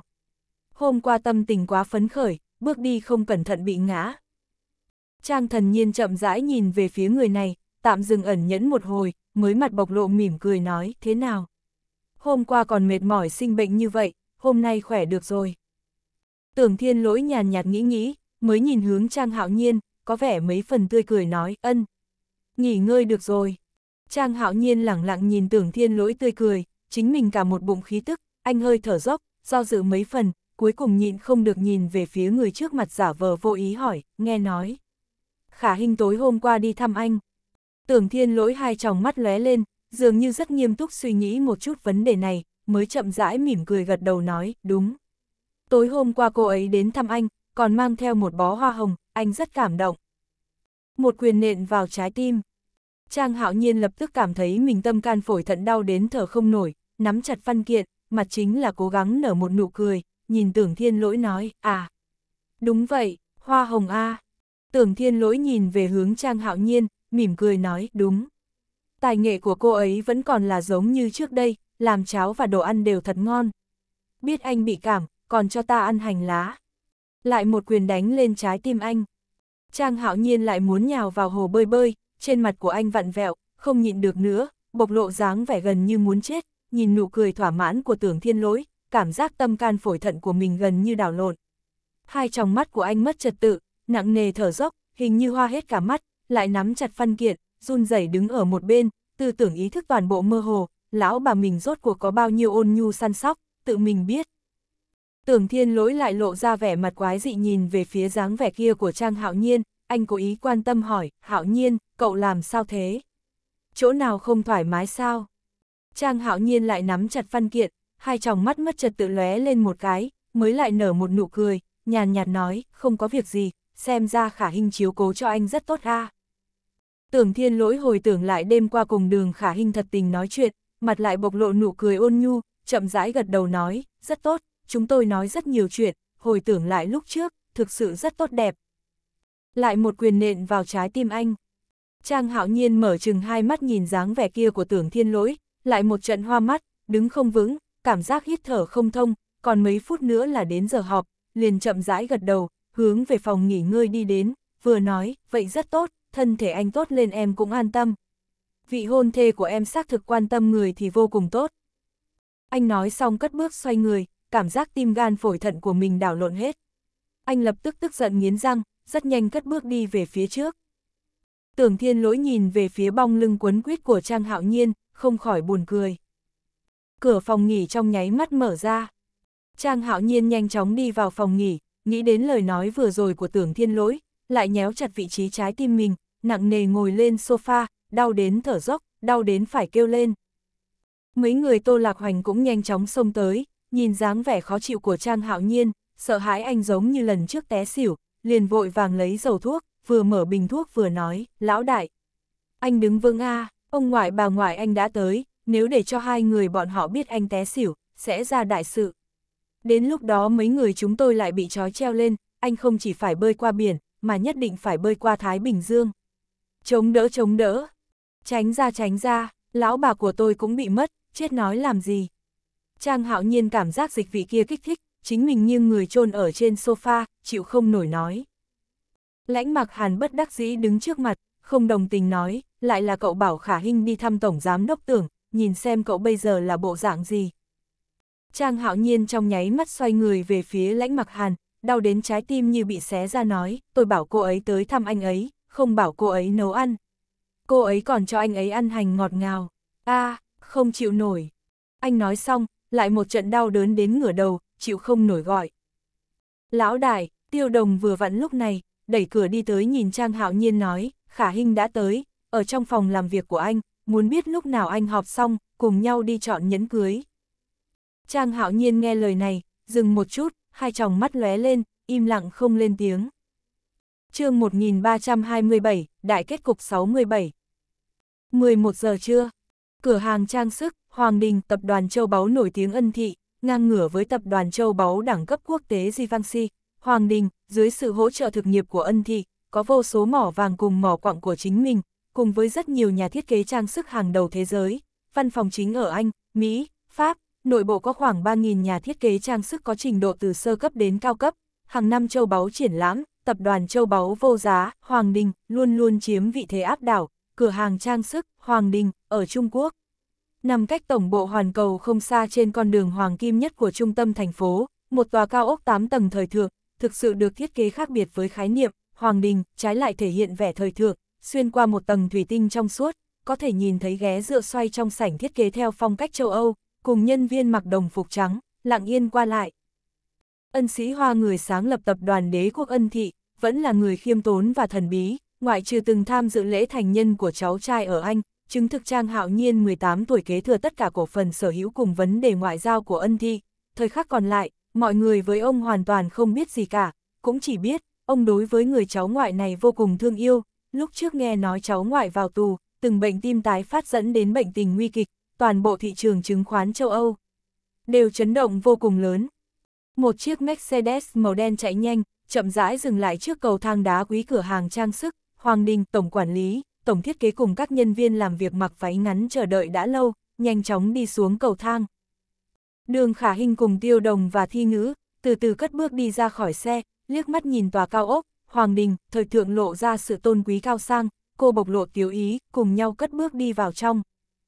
Trang Hạo Nhiên và Tưởng Thiên Lỗi hai vị tổng giám đốc tạm thời vì muốn tham dự hội nghị của bên thứ ba, hơn nữa hội nghị qua đi, anh còn phải qua thăm ông bà ngoại, cho nên để tránh đường khả hình chờ đợi, liền cho tiêu đồng trước cùng cô qua, Hoàng Đình, chọn nhẫn cưới, chính mình sau đó sẽ tới. Sảnh khách quý, Hoàng Đình, đặt ở lầu 2, hướng ra cây mộc lan ngọt ngào ngoài cửa sổ. Sảnh khách quý xa hoa, ánh đèn khắp nơi đều có thể chiết xạ ra ánh sáng châu báu lóa mắt, bên trái phòng nghỉ ngơi, bên trong đặt bộ sofa trắng, cùng rượu đỏ cao cấp nhất thế giới, sâm panh, các loại xì gà trong hộp màu giám nắng, được khảm bên trong vách tường mạ vàng, bên phải rũ xuống bức màn màu lam nhạt, bên trong là phòng trang điểm thanh nhã, muốn đáp ứng nhu cầu khách thay đổi quần áo tới thử đeo trang sức, trong sảnh cầu đặt giá xoay tròn màu đen thần bí, bốn phía còn lại là màn hình LCD, dùng để công bố lai lịch nhà thiết kế của mỗi loại nhẫn cưới. Giới thiệu kim cương công nghệ cắt kim cương, vô số nhân viên công tác, đang trên sofa sậm màu xoay tròn, lại đặt lên những món điểm tâm tinh xảo cùng trà lai, bên cạnh là một bó hoa hồng sâm panh, tỏa ra hương thơm độc đáo mà thuần khiết. Đường khả hình dưới sự nâng đỡ của tiêu đồng cùng thi ngữ, chậm rãi đi vào sảnh khách quý VIP, lập tức cảm nhận được bầu không khí long trọng mà được yêu mến này, khiến cô không khỏi trá dị cùng chờ mong. Tổng quản lý cùng tổng thiết kế nhìn thấy đường khả hình đi tới, tức khắc nhấn xuống một cái nút nào đó, đỉnh kính cửa sổ sát đất vốn dĩ trong suốt, chậm rãi rơi xuống một tầng kim loại màu lam đậm mang theo ký hiệu, hoàng đình, rõ ràng, giữa giá xoay tròn màu lam đậm, lập tức chiết xạ ra ánh sáng trắng giống như thiên đường, vô số nhân viên công tác dưới sự chỉ thị của tổng quản lý, dùng khay lam đậm có ký hiệu, hoàng đình, độc chế bằng bạch kim, chân thành bưng ra những nhẫn cưới đến từ các nhà thiết kế cao cấp nhất trên thế giới. Thật cẩn thận đặt trên giá, vương miện đang xoay tròn. Đường khả Hinh liền như vậy chậm rãi ngồi trên sofa, mặt bộc lộ thần sắc kỳ quái, nhìn về phía từng chiếc nhẫn cưới, lóe ra đầy dụ hoặc, tôn quý, mà yêu nhã mang theo ý nghĩa đặc biệt, nhất là cô nhìn thấy trong một chiếc hộp bạch kim tinh xảo, để một cặp nhẫn cưới, trong đó giữa nhẫn cưới cô dâu, là một viên kim cương xanh 8 cala, lấp lánh nhấp nháy, thậm chí lộ ra một điểm thủy hỏa sắc, loại ánh sáng thủy hỏa giao hòa này, chiết xạ ra ý nghĩa hôn nhân sâu sắc nhất. Giữa màn hình lớn tức khắc chiết xạ ra nhẫn cưới kim cương giá trị 100.000 vạn, sản xuất tại Ấn Độ xứ sở thần bí, nhà thiết kế người Australia Kiều Tác Tư, từng đoạt được giải quán quân về thiết kế trang sức, thiết kế ra chiếc nhẫn cưới kim cương này, không dùng công nghệ cắt kim cương trước đây, theo khuôn hình bầu dục hoa văn những cánh hoa, mà thay đổi độ cong kim cương, để hạt kim cương này mềm mại như đóa lan dạ hương, ôn nhu mà lãng mạn nở rộ ra, dường như trong nháy mắt là có thể bắn trúng nội tâm người khác.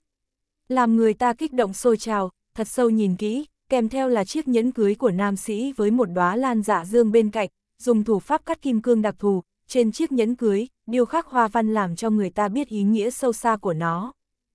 Cô cứ như vậy thật sâu dừng trên chiếc nhẫn nam sĩ này, suy nghĩ một chút nếu như ở trong ngày hôn lễ, chính mình đeo nhẫn cưới cho Trang Hạo Nhiên, đây sẽ là chuyện bao nhiêu kích động lòng người. Đôi mắt của cô bỗng chốc hơi hồng hào. Xung quanh nhân viên công tác, tiếp tục vì cô bưng ra các loại nhẫn cưới, thật cẩn thận đặt trên giá xoay tròn, chiếc hộp trang sức bạch kim tinh xảo, chậm rãi mà long trọng nhẹ mở ra, nhẫn cưới vô gái bên trong, lại hiện ra sự tôn quý. Tiêu đồng cùng thi ngữ chia ra ngồi ở bên cạnh cô, đều mỉm cười nhìn về phía cô, nồng nhiệt nói cô có thích cái nào không? Chúng tôi hôm nay chuẩn bị hơn 300 loại, từ từ mà xem. Đường khả hình mặt bộc lộ cảm động tươi cười, lại lưu chuyển hai tròng mắt, nhìn về phía các loại nhẫn cưới xúc động nhân tâm kia. Một cái bóng, liền thần bí mà trầm mặc xuất hiện ở bên ngoài sảnh quý khách. Trang hạo nhiên mặc âu phục màu đen, thay đổi đóa hoa hồng sâm panh cài trước ngực áo, lẳng lặng xuất hiện ở cạnh cửa, thật sâu nhìn bóng lưng đường khả hình ngồi trên sofa, hai tròng mắt cũng lóe lên tia nhìn nóng cháy, mặt từ từ bộc lộ tiêu ý, chậm rãi, anh từ từ trầm mặc đi tới sau lưng cô bé này, cách sofa kia, nhẹ cúi người, vây quanh vai cô bé này, nhẹ tay nắm bờ vai gầy của cô, cưng chiều mà khàn khàn hỏi, thích không? Tổng quản lý sảnh khách quý, dẫn theo quản lý cùng nhân viên công tác nhao nhao hướng anh tôn kính khom lưng chào hỏi, tiêu đồng cùng thi ngữ tươi cười đứng lên, đi tới một chiếc sofa khác ngồi xuống. Đường khả hình chợt cảm thấy thân thể bị một vòng tay thâm tình vây quanh, lòng cô khẽ động, hơi nghiêng mặt nhìn Trang hạo nhiên rốt cuộc đã tới, tức khắc càng cảm thấy vui sướng ngọt ngào gật đầu, nói thích. Trang hạo nhiên ôn nhu tươi cười, hai tay nhẹ buông bả vai cô, sau đó chậm rãi đứng lên, tháo nút áo âu phục của mình, cởi âu phục, chỉ mặc sơ mi màu lam nhạt cùng quần tây dài đen, mặt bộc lộ vẻ thần bí, trầm mặc vòng qua sofa, cùng vị hôn thê ôm nhau ngồi xuống, nhìn về phía từng loại nhẫn cưới trên giá xoay tròn, thậm chí nhìn thấy một cặp nhẫn cưới dạ lan hương nào đó, có vài phần hứng thú búng ngón tay, để nhân viên công tác đem cặp nhẫn cưới kia, đưa đến trước mặt mình, anh tươi cười nhận lấy. Nhìn nhẫn kim cương kia lóe ra ánh sáng cứng rắn. Đường khả hình mặt bộc lộ tiếu ý ngọt ngào, nhìn về phía nhẫn cưới này, nói, nhẫn cưới này thật xinh đẹp. Trang hạo nhiên lại bộc lộ tươi cười đầy mị lực, hai tròng mắt lóe lên, thập phần hứng thú, nhưng lại hơi ho khan hai tiếng, mới chậm rãi hỏi, đã ăn cơm chưa chưa? Chưa, đường khả hình vẫn tinh tế nhìn về phía nhẫn cưới kia. Trang hạo nhiên dần quay đầu, nhìn về phía đường khả hình, nhàn nhạt tươi cười, nói, sao còn chưa ăn? Cũng đã giữa trưa rồi. Đường khả hình quay đầu, nhìn về phía Trang hạo nhiên ngọt ngào cười nói, đây không phải là chờ anh sao? Trang hạo nhiên lẳng lặng nhìn về phía vị hôn thê, lưu chuyển hai tròng mắt, nghĩ nghĩ, mới nói cơm không ăn không được a. À. Lỡ như đói bụng làm sao bây giờ? Tối hôm qua, em đi thăm thiên lỗi, cảm thấy anh ta có khỏe không? Hôm nay trông dáng vẻ anh ta, cũng không có tinh thần, dường như có chút tiểu tụy. Đường khả hình trong nháy mắt xoay người, nhìn về phía Trang Hạo Nhiên tức khắc quan tâm hỏi, thật vậy sao? Không thể nào, tối hôm qua im nhìn anh ấy ăn thứ gì cũng rất ngon, hơn nữa tinh thần cũng hoàn hảo a. À. Trang Hạo Nhiên nghe lời này, lại bộc lộ vẻ quan tâm nói, phải không? Em thấy anh ta rất khỏe sao? Em đi xem bệnh, có hay không? Mua, mua bó hoa các loại. Đường khả hình mặt bộc lộ ngọt ngào tiếu ý, nói có. Mua bó hoa hồng tặng cho anh ấy. Một quyền nện vào tận trong tim. Trang hạo nhiên mặt có chút nhăn nhó, nhưng vẫn tận lực kiềm chế, bộc lộ tiếu ý nhàn nhạt, làm bộ không quan tâm nói, phải không? Lúc em đi, anh còn muốn nhắc nhở em, không nghĩ đến, em cư nhiên lại chu đáo như thế. Đường khả hình xoay người, nhìn về phía Trang Hạo Nhiên cười nói, đây không phải là quá khứ anh để em đi đó sao, bất quá anh không cho em đi, em vẫn phải đi thăm anh ấy. Lại một quyền nữa nện vào tim. Trang Hạo Nhiên nghiêng mặt nhìn vị hôn thê đang nhìn nhẫn cưới, toát ra tiếu ý ngọt ngào, anh sau khi ngưng vài phần, lại chậm rãi nói, vậy, em có cho anh ta ăn thứ gì không? Anh ta cảm mạo, luôn luôn không muốn ăn, yêu cầu cao. Có a đường khả hình lại cười nói, cho anh ấy ăn một chút cháo khoai, bí đỏ. Còn có, hành ngọt. Trang hạo nhiên nghe thấy hai chữ, hành ngọt, cảm giác thượng đế như dùng cái chảo nện ngay ót mình một cái, anh nhắm chặt đôi mắt, cố nén cảm giác đau đớn hoa mắt, nặng nề thở dốc, mới làm bộ vô ý nhàn nhạt hỏi, hành ngọt. Đường khả hình quay đầu, nhìn về phía anh cười nói, ừm. Hành ngọt hoang dại trên núi hương vị rất ngon, đặc biệt chị cảm mạo rất hiệu quả, là do cha em đích thân hái. Phải không? Trang hạo nhiên tay khẽ đặt trên đầu gối, quay mặt sang nhìn về phía vị hôn thê nói, vậy làm thế nào để ăn? Là nấu ăn, chiên lên ăn, trưng lên ăn, hay là đút ăn? Đường khả hình mỉm cười, lặng lặng nghe vấn đề của vị hôn phu, cho đến câu nói sau cùng, cô mở to hai mắt, lập tức quay mặt sang, nghi ngờ nhìn về phía vị hôn phu, nói, đút ăn. chương 1328, Đại kết cục 68 Đúng vậy, Trang hạo nhiên đẹp trai mị lực tựa trên sofa mềm mại, hai tròng mắt lóe ra tia nhìn hỗn độn, lại rất mau khôi phục tươi cười, nhìn về phía vẻ mặt không biểu cảm của vị hôn thê, hơi dương tay nói, anh nghĩ hành ngọt kia hẳn là ăn rất ngon, nhất là chấm tương từng miếng từng miếng đút tới ăn, cảm giác rất ngon. Phải không? Đường khả hình nghe lời này, mặt rốt cuộc bộc lộ vài phần hiểu ý, chậm rãi nhìn người này. Trang hạo nhiên lại mặt bộc lộ vẻ hiểu ra, dương cười nói anh có thể hiểu được. Anh hoàn toàn không để ý, anh ta xác thực thân thể là suy yếu một chút, không giống anh, tối hôm qua 5 tiếng đồng hồ, một chút việc cũng không có, sáng nay dậy tinh thần còn phấn khởi. Đường khả hình nhịn cười, giả vờ đứng đắn, nhìn về phía vị hôn phu nói, anh nói sai rồi, bọn em không phải đút tới ăn, mà bọn em là xé đến ăn. Trang hạo nhiên nheo mắt nhìn vị hôn thê, bộc lộ thân sắc như khó hiểu, nói, xé. Xé đến ăn. Đúng vậy, đường khả hình mặt bộc lộ vẻ thần bí, chậm rãi nghiêng người về trước, cầm lên một phần thịt bò khô ướp mật trên bàn trà, vươn tay thon ngọc, nhẹ xé một miếng thịt bò khô đưa đến trong miệng vị hôn phu, mới chậm rãi nói, như cha em đã nói, trước đem hành ngọt kia rửa sạch, phải thật nhẹ nhàng đem nó làm sạch, mới dùng dao cắt thành từng đoạn. Từng đoạn, sau đó cầm lấy, đem nó xé thành từng sợi, chấm tương mới đưa đến trong miệng tưởng thiên lỗi. Trang hạo nhiên há miệng ra ăn miếng thịt bò khô kia, vừa thong thả nhai, vừa bình tĩnh nghe vị hôn thê giải thích chuyện xảy ra tối hôm qua, anh lập tức bị sặc, bỗng nhiên ho khan một tiếng, nghẹn đến mức chịu không nổi, tức khắc vươn tay đập đập vào tim mình, vừa đập vừa ho sặc sụa. Kỳ thực tối hôm qua thực sự rất tốt, đường khả hình mặt lại mỉm cười ngọt ngào, ôn nhu hồi tưởng nói, bọn em hôm qua cùng nói tới những năm tháng đã từng chấn động nhân tâm, trò chuyện về hương vị quét kia, trò chuyện về bài hát đó. đến nay em còn nhớ giai điệu nhẹ nhàng kia, ngọt ngào mà hạnh phúc như vậy. Một cây đao đâm thẳng vào trái tim. Khụ khụ khụ, Trang Hạo Nhiên đoán chừng là thực sự bị sặc, họ chịu không nổi, dẫn tới nhân viên công tác, tiêu đồng và thi ngữ cùng nhau quái dị ngẩng đầu, nhìn về phía anh. Anh sao thế, chỗ nào không thoải mái? Đường khả hình cố ý mở to mắt, nhìn về phía người này, nhịn không được bật cười nói, hay là bị sặc. Trang hạo nhiên vừa ho vừa dương tay, để cho mọi người trong sảnh khách quý rời khỏi.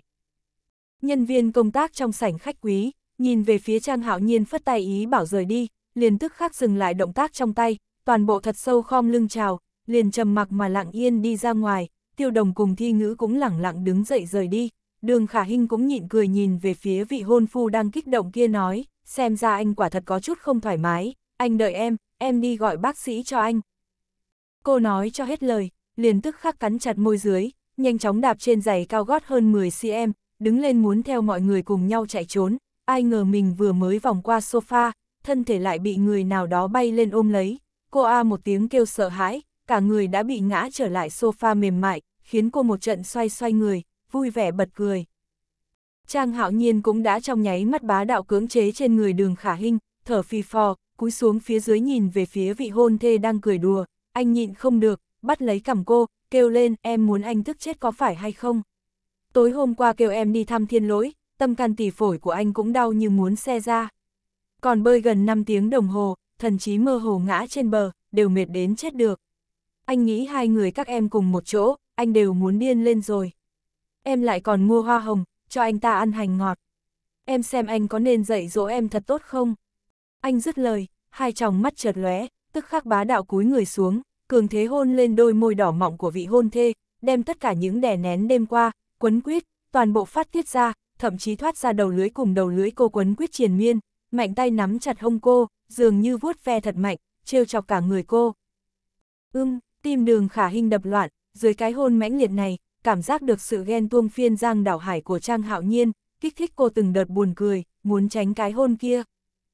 Trang Hạo Nhiên lại bá đạo giữ chặt khuôn mặt nhỏ nhắn kia, cường thế mà nóng cháy mút cánh môi ngọt ngào của cô, tay thậm chí còn tham lam đi xuống. Đường khả hình lại trong khoảnh khắc thở dốc, nắm chặt cánh tay anh. Trang Hạo Nhiên cố ý căng khuôn mặt, dừng lại động tác, lúc này mới thở dốc nhìn về phía vị hôn thê, bá đạo ghen hỏi thật đút ăn sao. Đường khả hình trái tim bang bang đập, nhưng vẫn cảm giác bộ dáng lúc ghen của vị hôn phu như vậy, thực sự rất có mị lực, thật là đẹp trai. Cô dừng lại một chút, mới ôn nhu cười ngọt ngào nói, em mặc dù ôn nhu săn sóc, nhưng em sẽ không dễ dàng đút cho đàn ông khác ăn thứ gì. Em biết anh không thích. Trang hạo nhiên hai tròng mắt chợt lóe, kích động nhìn về phía vị hôn thê.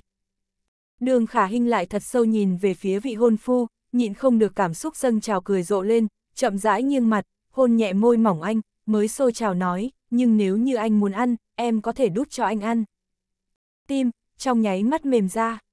Hai tong mắt trang hạo nhiên cường liệt lóe ra ánh nhìn vui sướng, mặt rốt cuộc bộc lộ nụ cười vui vẻ ngọt ngào, cảm xúc dâng trào như một cơn sóng, anh tức khắc ôm ngang lấy thân thể mềm mại của vị hôn thê, vừa hướng bên trong phòng nghỉ ngơi đi đến, vừa nhìn cô nói câu, phải không? Vậy anh nếm thử, anh muốn đem mọi thứ em ăn hôm qua nếm trở lại. Đường khả hình nghe lời này, hai tay vây quanh cổ vị hôn phu, lại cảm giác trong cơ thể như đóa sen trắng, theo dòng nước ấm từ từ nở rộ. chương 1329, Đại kết cục 69 Sảnh khách quý cửa hàng trang sức, Hoàng Đình Vài nhân viên công tác sau khi nhận được sự cho phép của Trang Hạo Nhiên, lại từng bước đẩy cửa đi vào bên trong, nhìn Trang Hạo Nhiên mặc màu lam sơ mi cùng quần tây đen, áo để hở cổ, ôm chặt đường khả hinh ngồi ở trên sofa, nhẹ tay đỡ hông của cô, cách hịp phục, nhẹ nhàng vuốt ve từ bên hông khêu gợi tới mông cô, các cô toàn bộ cũng không dám lên tiếng, mà nhanh chóng lại bưng ra các loại nhẫn cưới, cẩn thận đặt trên giá đang xoay tròn, mà tiêu đồng cùng thi ngữ cũng vào lúc này, trầm mặc mỉm cười đi tới. Ngồi trên sofa bên cạnh giá đang xoay tròn. Đường khả hình mặt bộc lộ sự ngượng ngùng, tựa vào lòng vị hôn phu, cảm giác máu trong thân thể đang điên cuồng dũng động, giữa đôi chân chậm rãi thả ra từng trận kích tình, trái tim bang bang đập, cảm giác được tay anh nhẹ nhàng thong thả vuốt ve bên hông mình, liền mắc cỡ mặt đỏ bừng, mỉm cười ngọt ngào, muốn đưa tay nhẹ đẩy anh ra. Trang hạo nhiên lại nhẹ nắm lấy bàn ép tay nhỏ bé của cô, vừa ôn nhu cười ngọt ngào nhìn vị hôn thê, vừa nâng tay nhỏ bé của cô lên, cưng chiều hôn nhẹ lên ngón tay cô, thậm chí khẽ cắn ngón út phấn hồng của cô. Đường khả hình cảm giác được một điểm đau đớn, nhẹ thở dốc một hơi, trong nháy mắt quay mặt sang, hai tròng mắt lóe ra tia nhìn mê hoặc mà chất vấn, nhìn về phía vị hôn phu. Trang hạo nhiên lại cúi mặt, ăn ý tươi cười, thật sâu nhìn về phía vị hôn thê. Đường khả hình tim đập loạn, khẽ cắn môi dưới, cảm thấy có chút thẹn thùng muốn rút red ai mình ra. Trang hạo nhiên lại bá đạo nắm tay nhỏ bé kia, tay lại bá đạo nhẹ ôm lấy hông cô, kéo cô càng tới sát lồng ngực của mình hơn, mới cúi mặt ở bên tai cô, nhẹ suốt nhiệt khí nói, vừa rồi thoải mái không? Thích không? Đường khả hình mặt đỏ bừng, vì sợ người khác nghe thấy, nhấc mí mắt nhìn về phía hai người tiêu đồng, lúc này mới ngượng ngùng nói, đừng như vậy. Sợ cái gì? Trang hạo nhiên cúi đầu nhìn về phía dáng vẻ thẹn thùng của vị hôn thê, lại không nhịn được cười, chậm rãi nghiêng người về trước cầm lên một phần bánh ngọt màu trắng, đưa tới bên môi cô, đau lòng nói, vì chọn nhẫn cưới, ngay cả bữa trưa cũng chưa ăn. Trước ăn một chút, đừng để bị đói. Đường khả hình quay mặt sang liếc mắt nhìn vị hôn phu một cái, lúc này mới ngọt ngào tươi cười, ăn phần bánh ngọt mềm kia, lập tức cảm giác một trận ngọt như mật. Trang hạo nhiên liền thâm tình nhìn vị hôn thê nhẹ nhai bánh ngọt, hai tròng mắt chiết xạ tia nhìn ôn nhu, lúc đôi môi đỏ mọng nhẹ nhai bánh ngọt trắng kia, một chút bột bánh trắng dính ở trên môi cô, tim anh khẽ động, tức khắc lại ôm đường khả hình vào ngực, cúi xuống dưới nhẹ nếm đôi môi đỏ mọng kia, thậm chí mút cánh môi dính bột bánh, hơi thở nơi lồng ngực, lại trận trận nhiệt liệt cuộn trào mãnh liệt. Ưm, đường khả hình mặt lại mắc cỡ đỏ bừng, tim đập loạn, cảm giác được hơi thở nơi đầu lưỡi trang hạo nhiên, vẫn mang theo hương vị đầy dụ hoặc, tràn khắp thân thể mình, thậm chí lồng ngực kiên cố của anh, lộ ra hơi thở nóng cháy, ập thẳng về phía mình khiến cô mất hết lý trí, vốn là muốn vô thức đẩy anh ra, lại cảm giác bị người đàn ông này ôm chặt chính mình, rung động đến mức đầu ngón tay một trận mềm yếu. Trang hạo nhiên kìm lòng không được hôn sâu đường khả hình, cảm giác môi cô ngọt ngào hiếm có trên thế gian, dẫn tới chính mình trận trận sôi trào liên tục, hai tay không nhịn được lại ôm Chia lấy eo nhỏ nhắn của cô, cứ như vậy ở trước mắt bao người, đem cô đè trên ghế sofa, xoay người, thâm tình mà nồng đậm hôn cô. Ưm, trái tim đường khả hình bang bang đập, nghênh đón anh giống như mang theo ma lực, nhiệt liệt mà ngọt ngào hôn, không nhịn được có chút ngượng ngùng nhấc mí mắt, liếc nhìn trên cái giá đang xoay tròn, nhân viên công tác cùng tiêu đồng vẫn nhàn nhạt bình tĩnh, tay cô nhẹ đặt trước lồng ngực kiên cố của anh, tránh thoát môi mỏng của anh, mới vô lực nói, được rồi. Người khác đều đang nhìn, còn muốn chọn nhẫn cưới hay không a? Trang hạo nhiên lưu luyến kết thúc nụ hôn này, thật sâu nhìn khuôn mặt e thẹn phiếm hồng của vị hôn thê, lại không nhịn được ôm cô vào lòng, hôn nhẹ dái tai của cô, tay vuốt ve hông cô, mới lặng lẽ nói, không bằng. Chúng ta lại đi nghỉ ngơi một chút, dù sao hôm nay thời gian đều là của em. Thôi, đường khả hình không nhịn được cười ngọt ngào đẩy vị hôn phu ra, nói, đừng như vậy. Trang hạo nhiên lại ôm chặt vị hôn thê vào ngực, bá đạo nghiêng mặt hôn nhẹ khuôn mặt nhỏ nhắn ửng hồng của cô, mới nói nhỏ, anh muốn cho em một bài học thật đáng, xem em còn dám tặng hoa hồng cho đàn ông khác hay không. Anh vừa dứt lời, liền tức khắc muốn làm động tác ôm ngang lấy cô, hướng phòng nghỉ ngơi đi đến. Ai, không muốn, đường khả hình thoáng cái ôm chặt cổ vị hôn phu, vội vã e thẹn cười ngọt ngào nói, đừng làm rộn. Người kia là anh trai của anh, giấm này cũng muốn ăn, rõ ràng chính là quan tâm anh ấy, nhớ anh ấy. Trang hạo nhiên lẳng lặng nhìn về phía đường khả hình, nghĩ không phải là vì đàn ông kia là anh trai mình, đoán chừng có tai nạn chết người, nghĩ tới đây, anh đành phải buông vị hôn thê, mặt bộc lộ thần sắc chống đối, nói, ai quan tâm anh ta? Ai nhớ anh ta, mỗi ngày chỉ biết làm việc như đầu gỗ. Đường khả hình nhịn cười nhìn về phía người này. Xem nhẫn cưới, Trang hạo nhiên lại ôm chặt vị hôn thê, gõ gõ ngón tay, lại để tổng quản lý cùng tổng thiết kế cửa hàng cho xem nhẫn cưới. Vài nhân viên sau khi đã trình nhẫn cưới xong, liền tức khắc tay ôm khay, hướng về phía Trang Hạo Nhiên cùng đường khả hình thật sâu khom lưng chào hỏi, lúc ngẩng đầu, nhìn thấy Trang Hạo Nhiên mặc sơ mi màu lam nhạt, để hở cổ, yêu nhã ngồi trên sofa, toàn thân tỏa ra một cổ mị lực đặc trưng của đàn ông phương Tây, nhất là vào lúc anh ôm chặt vị hôn thê, mặt ôn nhu tươi cười khiến người ta hít thở không thông, đôi mắt các cô lóe lên, nhưng vẫn lặng yên theo thứ tự lui ra ngoài, thế nhưng vừa mới rời khỏi sảnh khách quý. Đóng cánh cửa kính lại, các cô tức khắc tay ấn lồng ngực, thở hổn hển, vừa rồi lúc đứng ở bên trong sắp xếp nhẫn, nhìn thấy Trang Hạo Nhiên ôm chặt vị hôn thê nồng tình ý đậm hôn nồng nhiệt như vậy, trong lòng cũng đã không chịu nổi, một trận bang bang nhảy. Ôi trời, trong đó có một thiếu nữ, tay ôm khay, không ngừng dùng tay quạt gió, từng đợt chịu không nổi nói, tôi vừa rồi đứng bên trong, đều sắp sửa hít thở không thông, cho tới bây giờ đều chưa từng thấy qua một người đàn ông nào, hôn một phụ nữ như vậy, hôn đến tình ý đậm đà, thực sự vô cùng yêu thương nha. Tin đồn một chút cũng không sai. Thật vậy sao, thật vậy sao, một vài cô gái không thể vào trong sảnh khách quý, mỗi người đều nhao nhao chen qua đây, thập phần nhiệt liệt tò mò hỏi, bọn họ là thực sự yêu nhau à? Không phải như một vài tin đồn, chỉ là hôn nhân gia tộc sao? Sao có thể, một cô gái khác cũng không chịu nổi, tay ôm khay, nhìn về phía mọi người đang từng đợt thân thể phát sốt, chịu không nổi nói, là thật sự yêu nhau, nhìn Tổng Giám Đốc Trang đút bánh ngọt cho vị hôn thê ăn, tôi liền một trận hâm mộ. Tại sao có thể có cô gái may mắn như vậy chứ? Được cưng chiều như trăng sao trên trời vậy. Nghe nói hôn lễ lần này, đều là theo quy cách hoàng thất mà tiến hành. Chỉ riêng là lễ nạp thái, đều đã tiêu tốn gần 3 triệu. Có người còn la hoảng lên. Tất cả mọi người đều nuốt một ngụm khí lạnh, mở to mắt nhẹ kêu lên, 3 triệu. Đó là còn chưa tính lễ vật của lễ nạp thái, đúng là như nhạc kịch vậy. Có cô gái tám chuyện nói, ít nhất tiền biếu của cha vợ cũng hơn 35 triệu. Còn nghe nói tô tiểu thư của tô ra toàn lực thiết kế áo cưới và 12 bộ lễ phục tiệc tối cho phu nhân tương lai của Tổng Giám Đốc Trang, toàn bộ đều lựa chọn sợi tơ tằm quý nhất. Nghe nói người trên thế giới có thể làm áo cưới và lễ phục bằng sợi tơ tằm, cũng không có mấy người. Trời à, có một cô gái nghe lời này, gần như muốn té xỉu, thực sự hâm mộ nói, tại sao có thể có cô gái hạnh phúc như thế a? À? Cô hâm mộ cũng không được, có người lén lút cười nói. Ai, một cô gái kỳ quái nhìn về phía đồng nghiệp hỏi, Tổng Giám Đốc Trang và vị hôn thê đi vào sảnh khách quý lâu như vậy, còn chưa chọn lựa được nhẫn cưới sao? Ở trong đó từng chiếc nhẫn kim cương, đều là độc nhất vô nhị, hơn nữa chúng ta chọn nhẫn cưới, đều là phối hợp với chủ đề tình yêu của bọn họ a. Thật khó hiểu, vị đường tiểu thư này hình như đối với những viên kim cương lớn kia, cũng không quan tâm mấy. Nhìn thấy thích, nhưng cũng không chọn, có người cũng nghi ngờ nói. Giữa lúc mọi người nói chuyện riêng, cửa thang máy trong nháy mắt mở ra, tổng quản lý cửa hàng cùng tổng thiết kế, tay cầm kết sắt màu bạc, mặt bộc lộ vẻ cẩn thận, cất bước đi về phía trước. Mọi người thấy tổng quản lý đến, tức khắc im lặng lui qua một bên. Tổng quản lý vừa liếc nhìn xung quanh, lúc này mới dẫn mấy người, sách kết sắt đi vào bên trong.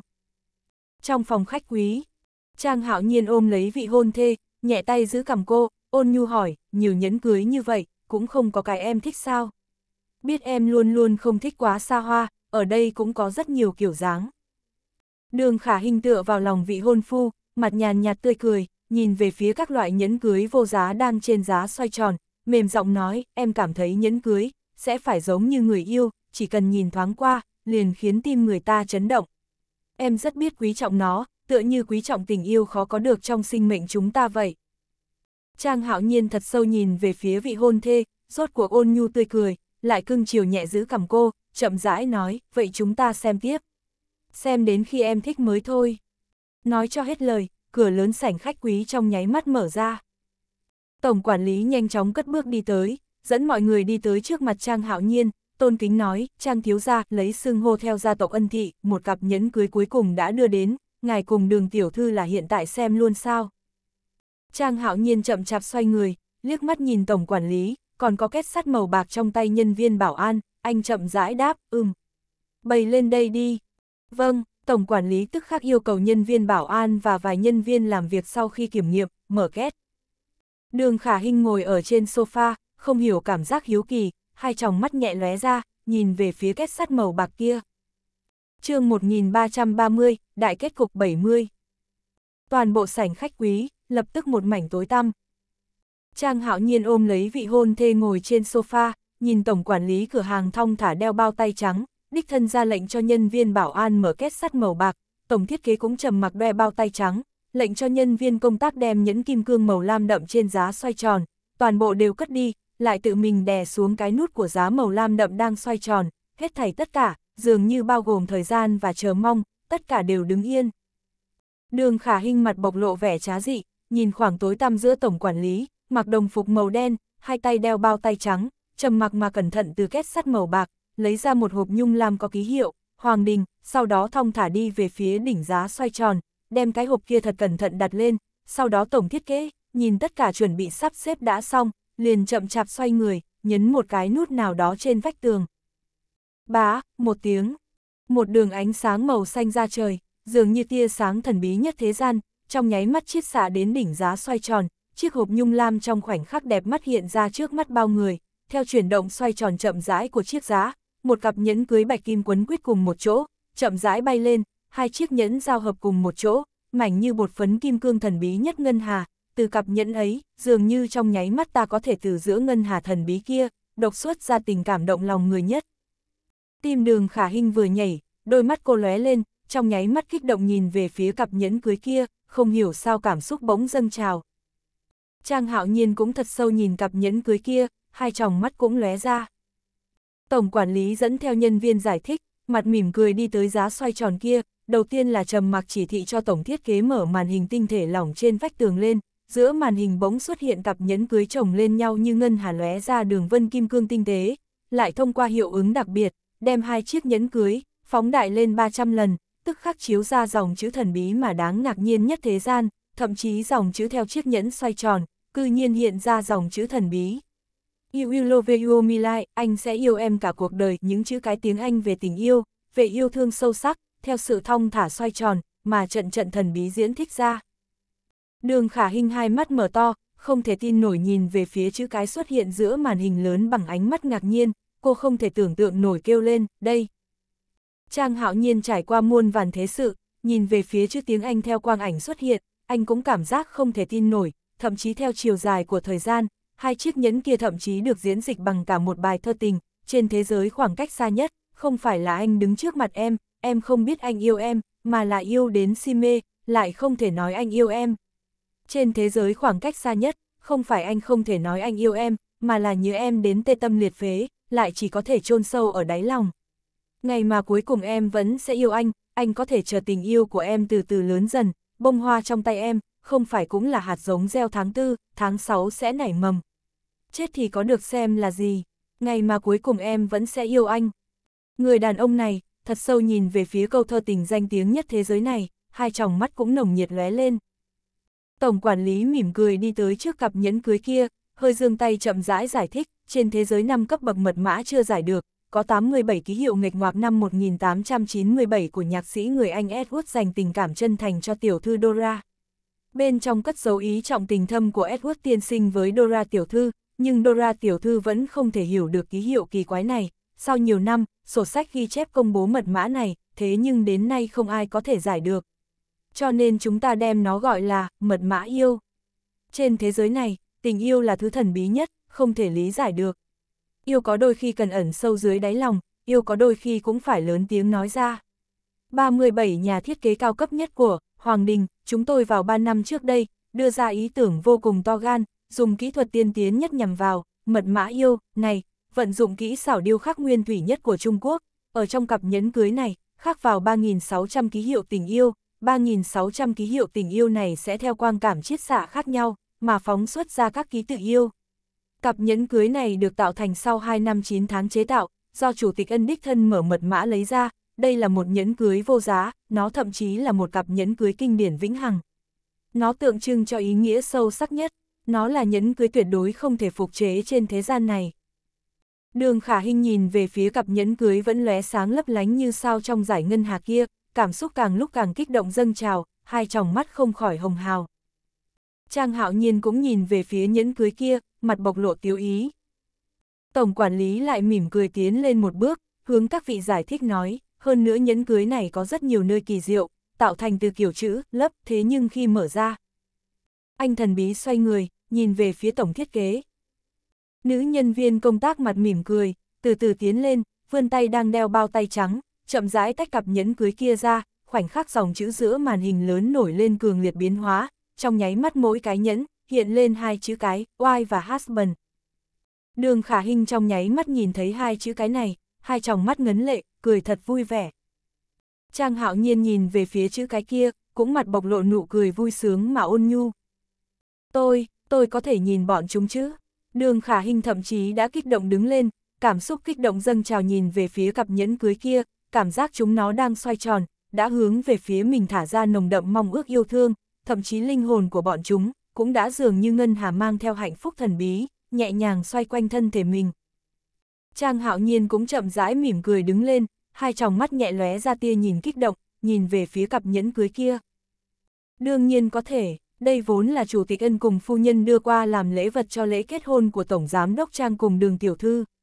Tổng quản lý mỉm cười nói xong, tức khắc xoay người, chậm rãi vươn hai tay, nâng chiếc hộp lam đậm kia lên, đem cặp nhẫn cưới thần bí mà đầy đủ ý nghĩa nhất thế gian kia, cẩn thận từng ly từng tí tôn kính đưa đến trước mặt đường khả hình cùng Trang hạo nhiên. Đường khả hình đầu tiên kích động dương cười vươn hai tay, tiếp nhận hộp nhung lam đậm kia, nhìn về phía nhẫn cưới đã tách nhau ra, lúc này vẫn lóe ra ánh sáng như ngân hà, bên trong lại tràn đầy ý nghĩa, nhất là viên kim cương màu hồng phấn kia, tỏa ra ánh sáng nồng đậm tôn quý, cô không khỏi nhớ tới hình ảnh khoảnh khắc trang hạo nhiên tương lai đeo nhẫn kim cương này, mở ra kiêu ngạo hùng phong, cô lập tức vui mừng quay mặt sang, nhìn về phía vị hôn phu. Trang hạo nhiên cũng thật sâu cúi đầu, nhìn về phía vị hôn thê thích cặp nhẫn cưới này như vậy, càng bộc lộ thiếu ý, có lẽ đây thật sự là tâm ý tương thông. Đường khả hình thực sự thích nhẫn cưới này, không nhịn được muốn vươn tay, cầm chiếc nhẫn kia lên. Một tay lại nhẹ nắm cánh tay của cô. Cô khẽ giật mình ngẩng đầu, nhìn về phía người trước mặt. Trang hạo nhiên lại thật sâu nhìn về phía vị hôn thê, chậm rãi nói, kích cỡ này chắc chắn thích hợp, để nhẫn này đeo vào thời khắc thiêng liêng nhất, chờ đến ngày hôn lễ, anh đã chờ mong rất lâu rồi. Em gái nhỏ, đôi mắt đường khả hình trong nháy mắt ngẫn lệ, ngẩng đầu kích động nhìn về phía Trang hạo nhiên. Dường như, dường như, cái cảnh cô bé nhỏ đáng yêu trong mơ kia, mặc váy nhỏ màu trắng, tươi cười ngọt ngào thuần khiết, đầu đội vòng hoa màu trắng, ôm bó hoa hồng kia, đứng trong thế giới tình yêu với bóng trúc nhẹ lay động, không ngừng xoay tròn. Giải lụa tuyệt đẹp kia, lại theo gió nhẹ phất lên, không biết bay về phương nào. Chỉ thấy nó cứ như vậy theo gió phiêu lãng, trải qua bầu trời xanh thẳm, trải qua mây trắng nhẹ nhàng, trải qua vô số cố sự tình yêu, trải qua thời không thần bí, cuối cùng vẫn rơi vào thời khắc long trọng của hôn lễ kia. Audio điện tử võ tấn bền Hết chương 1330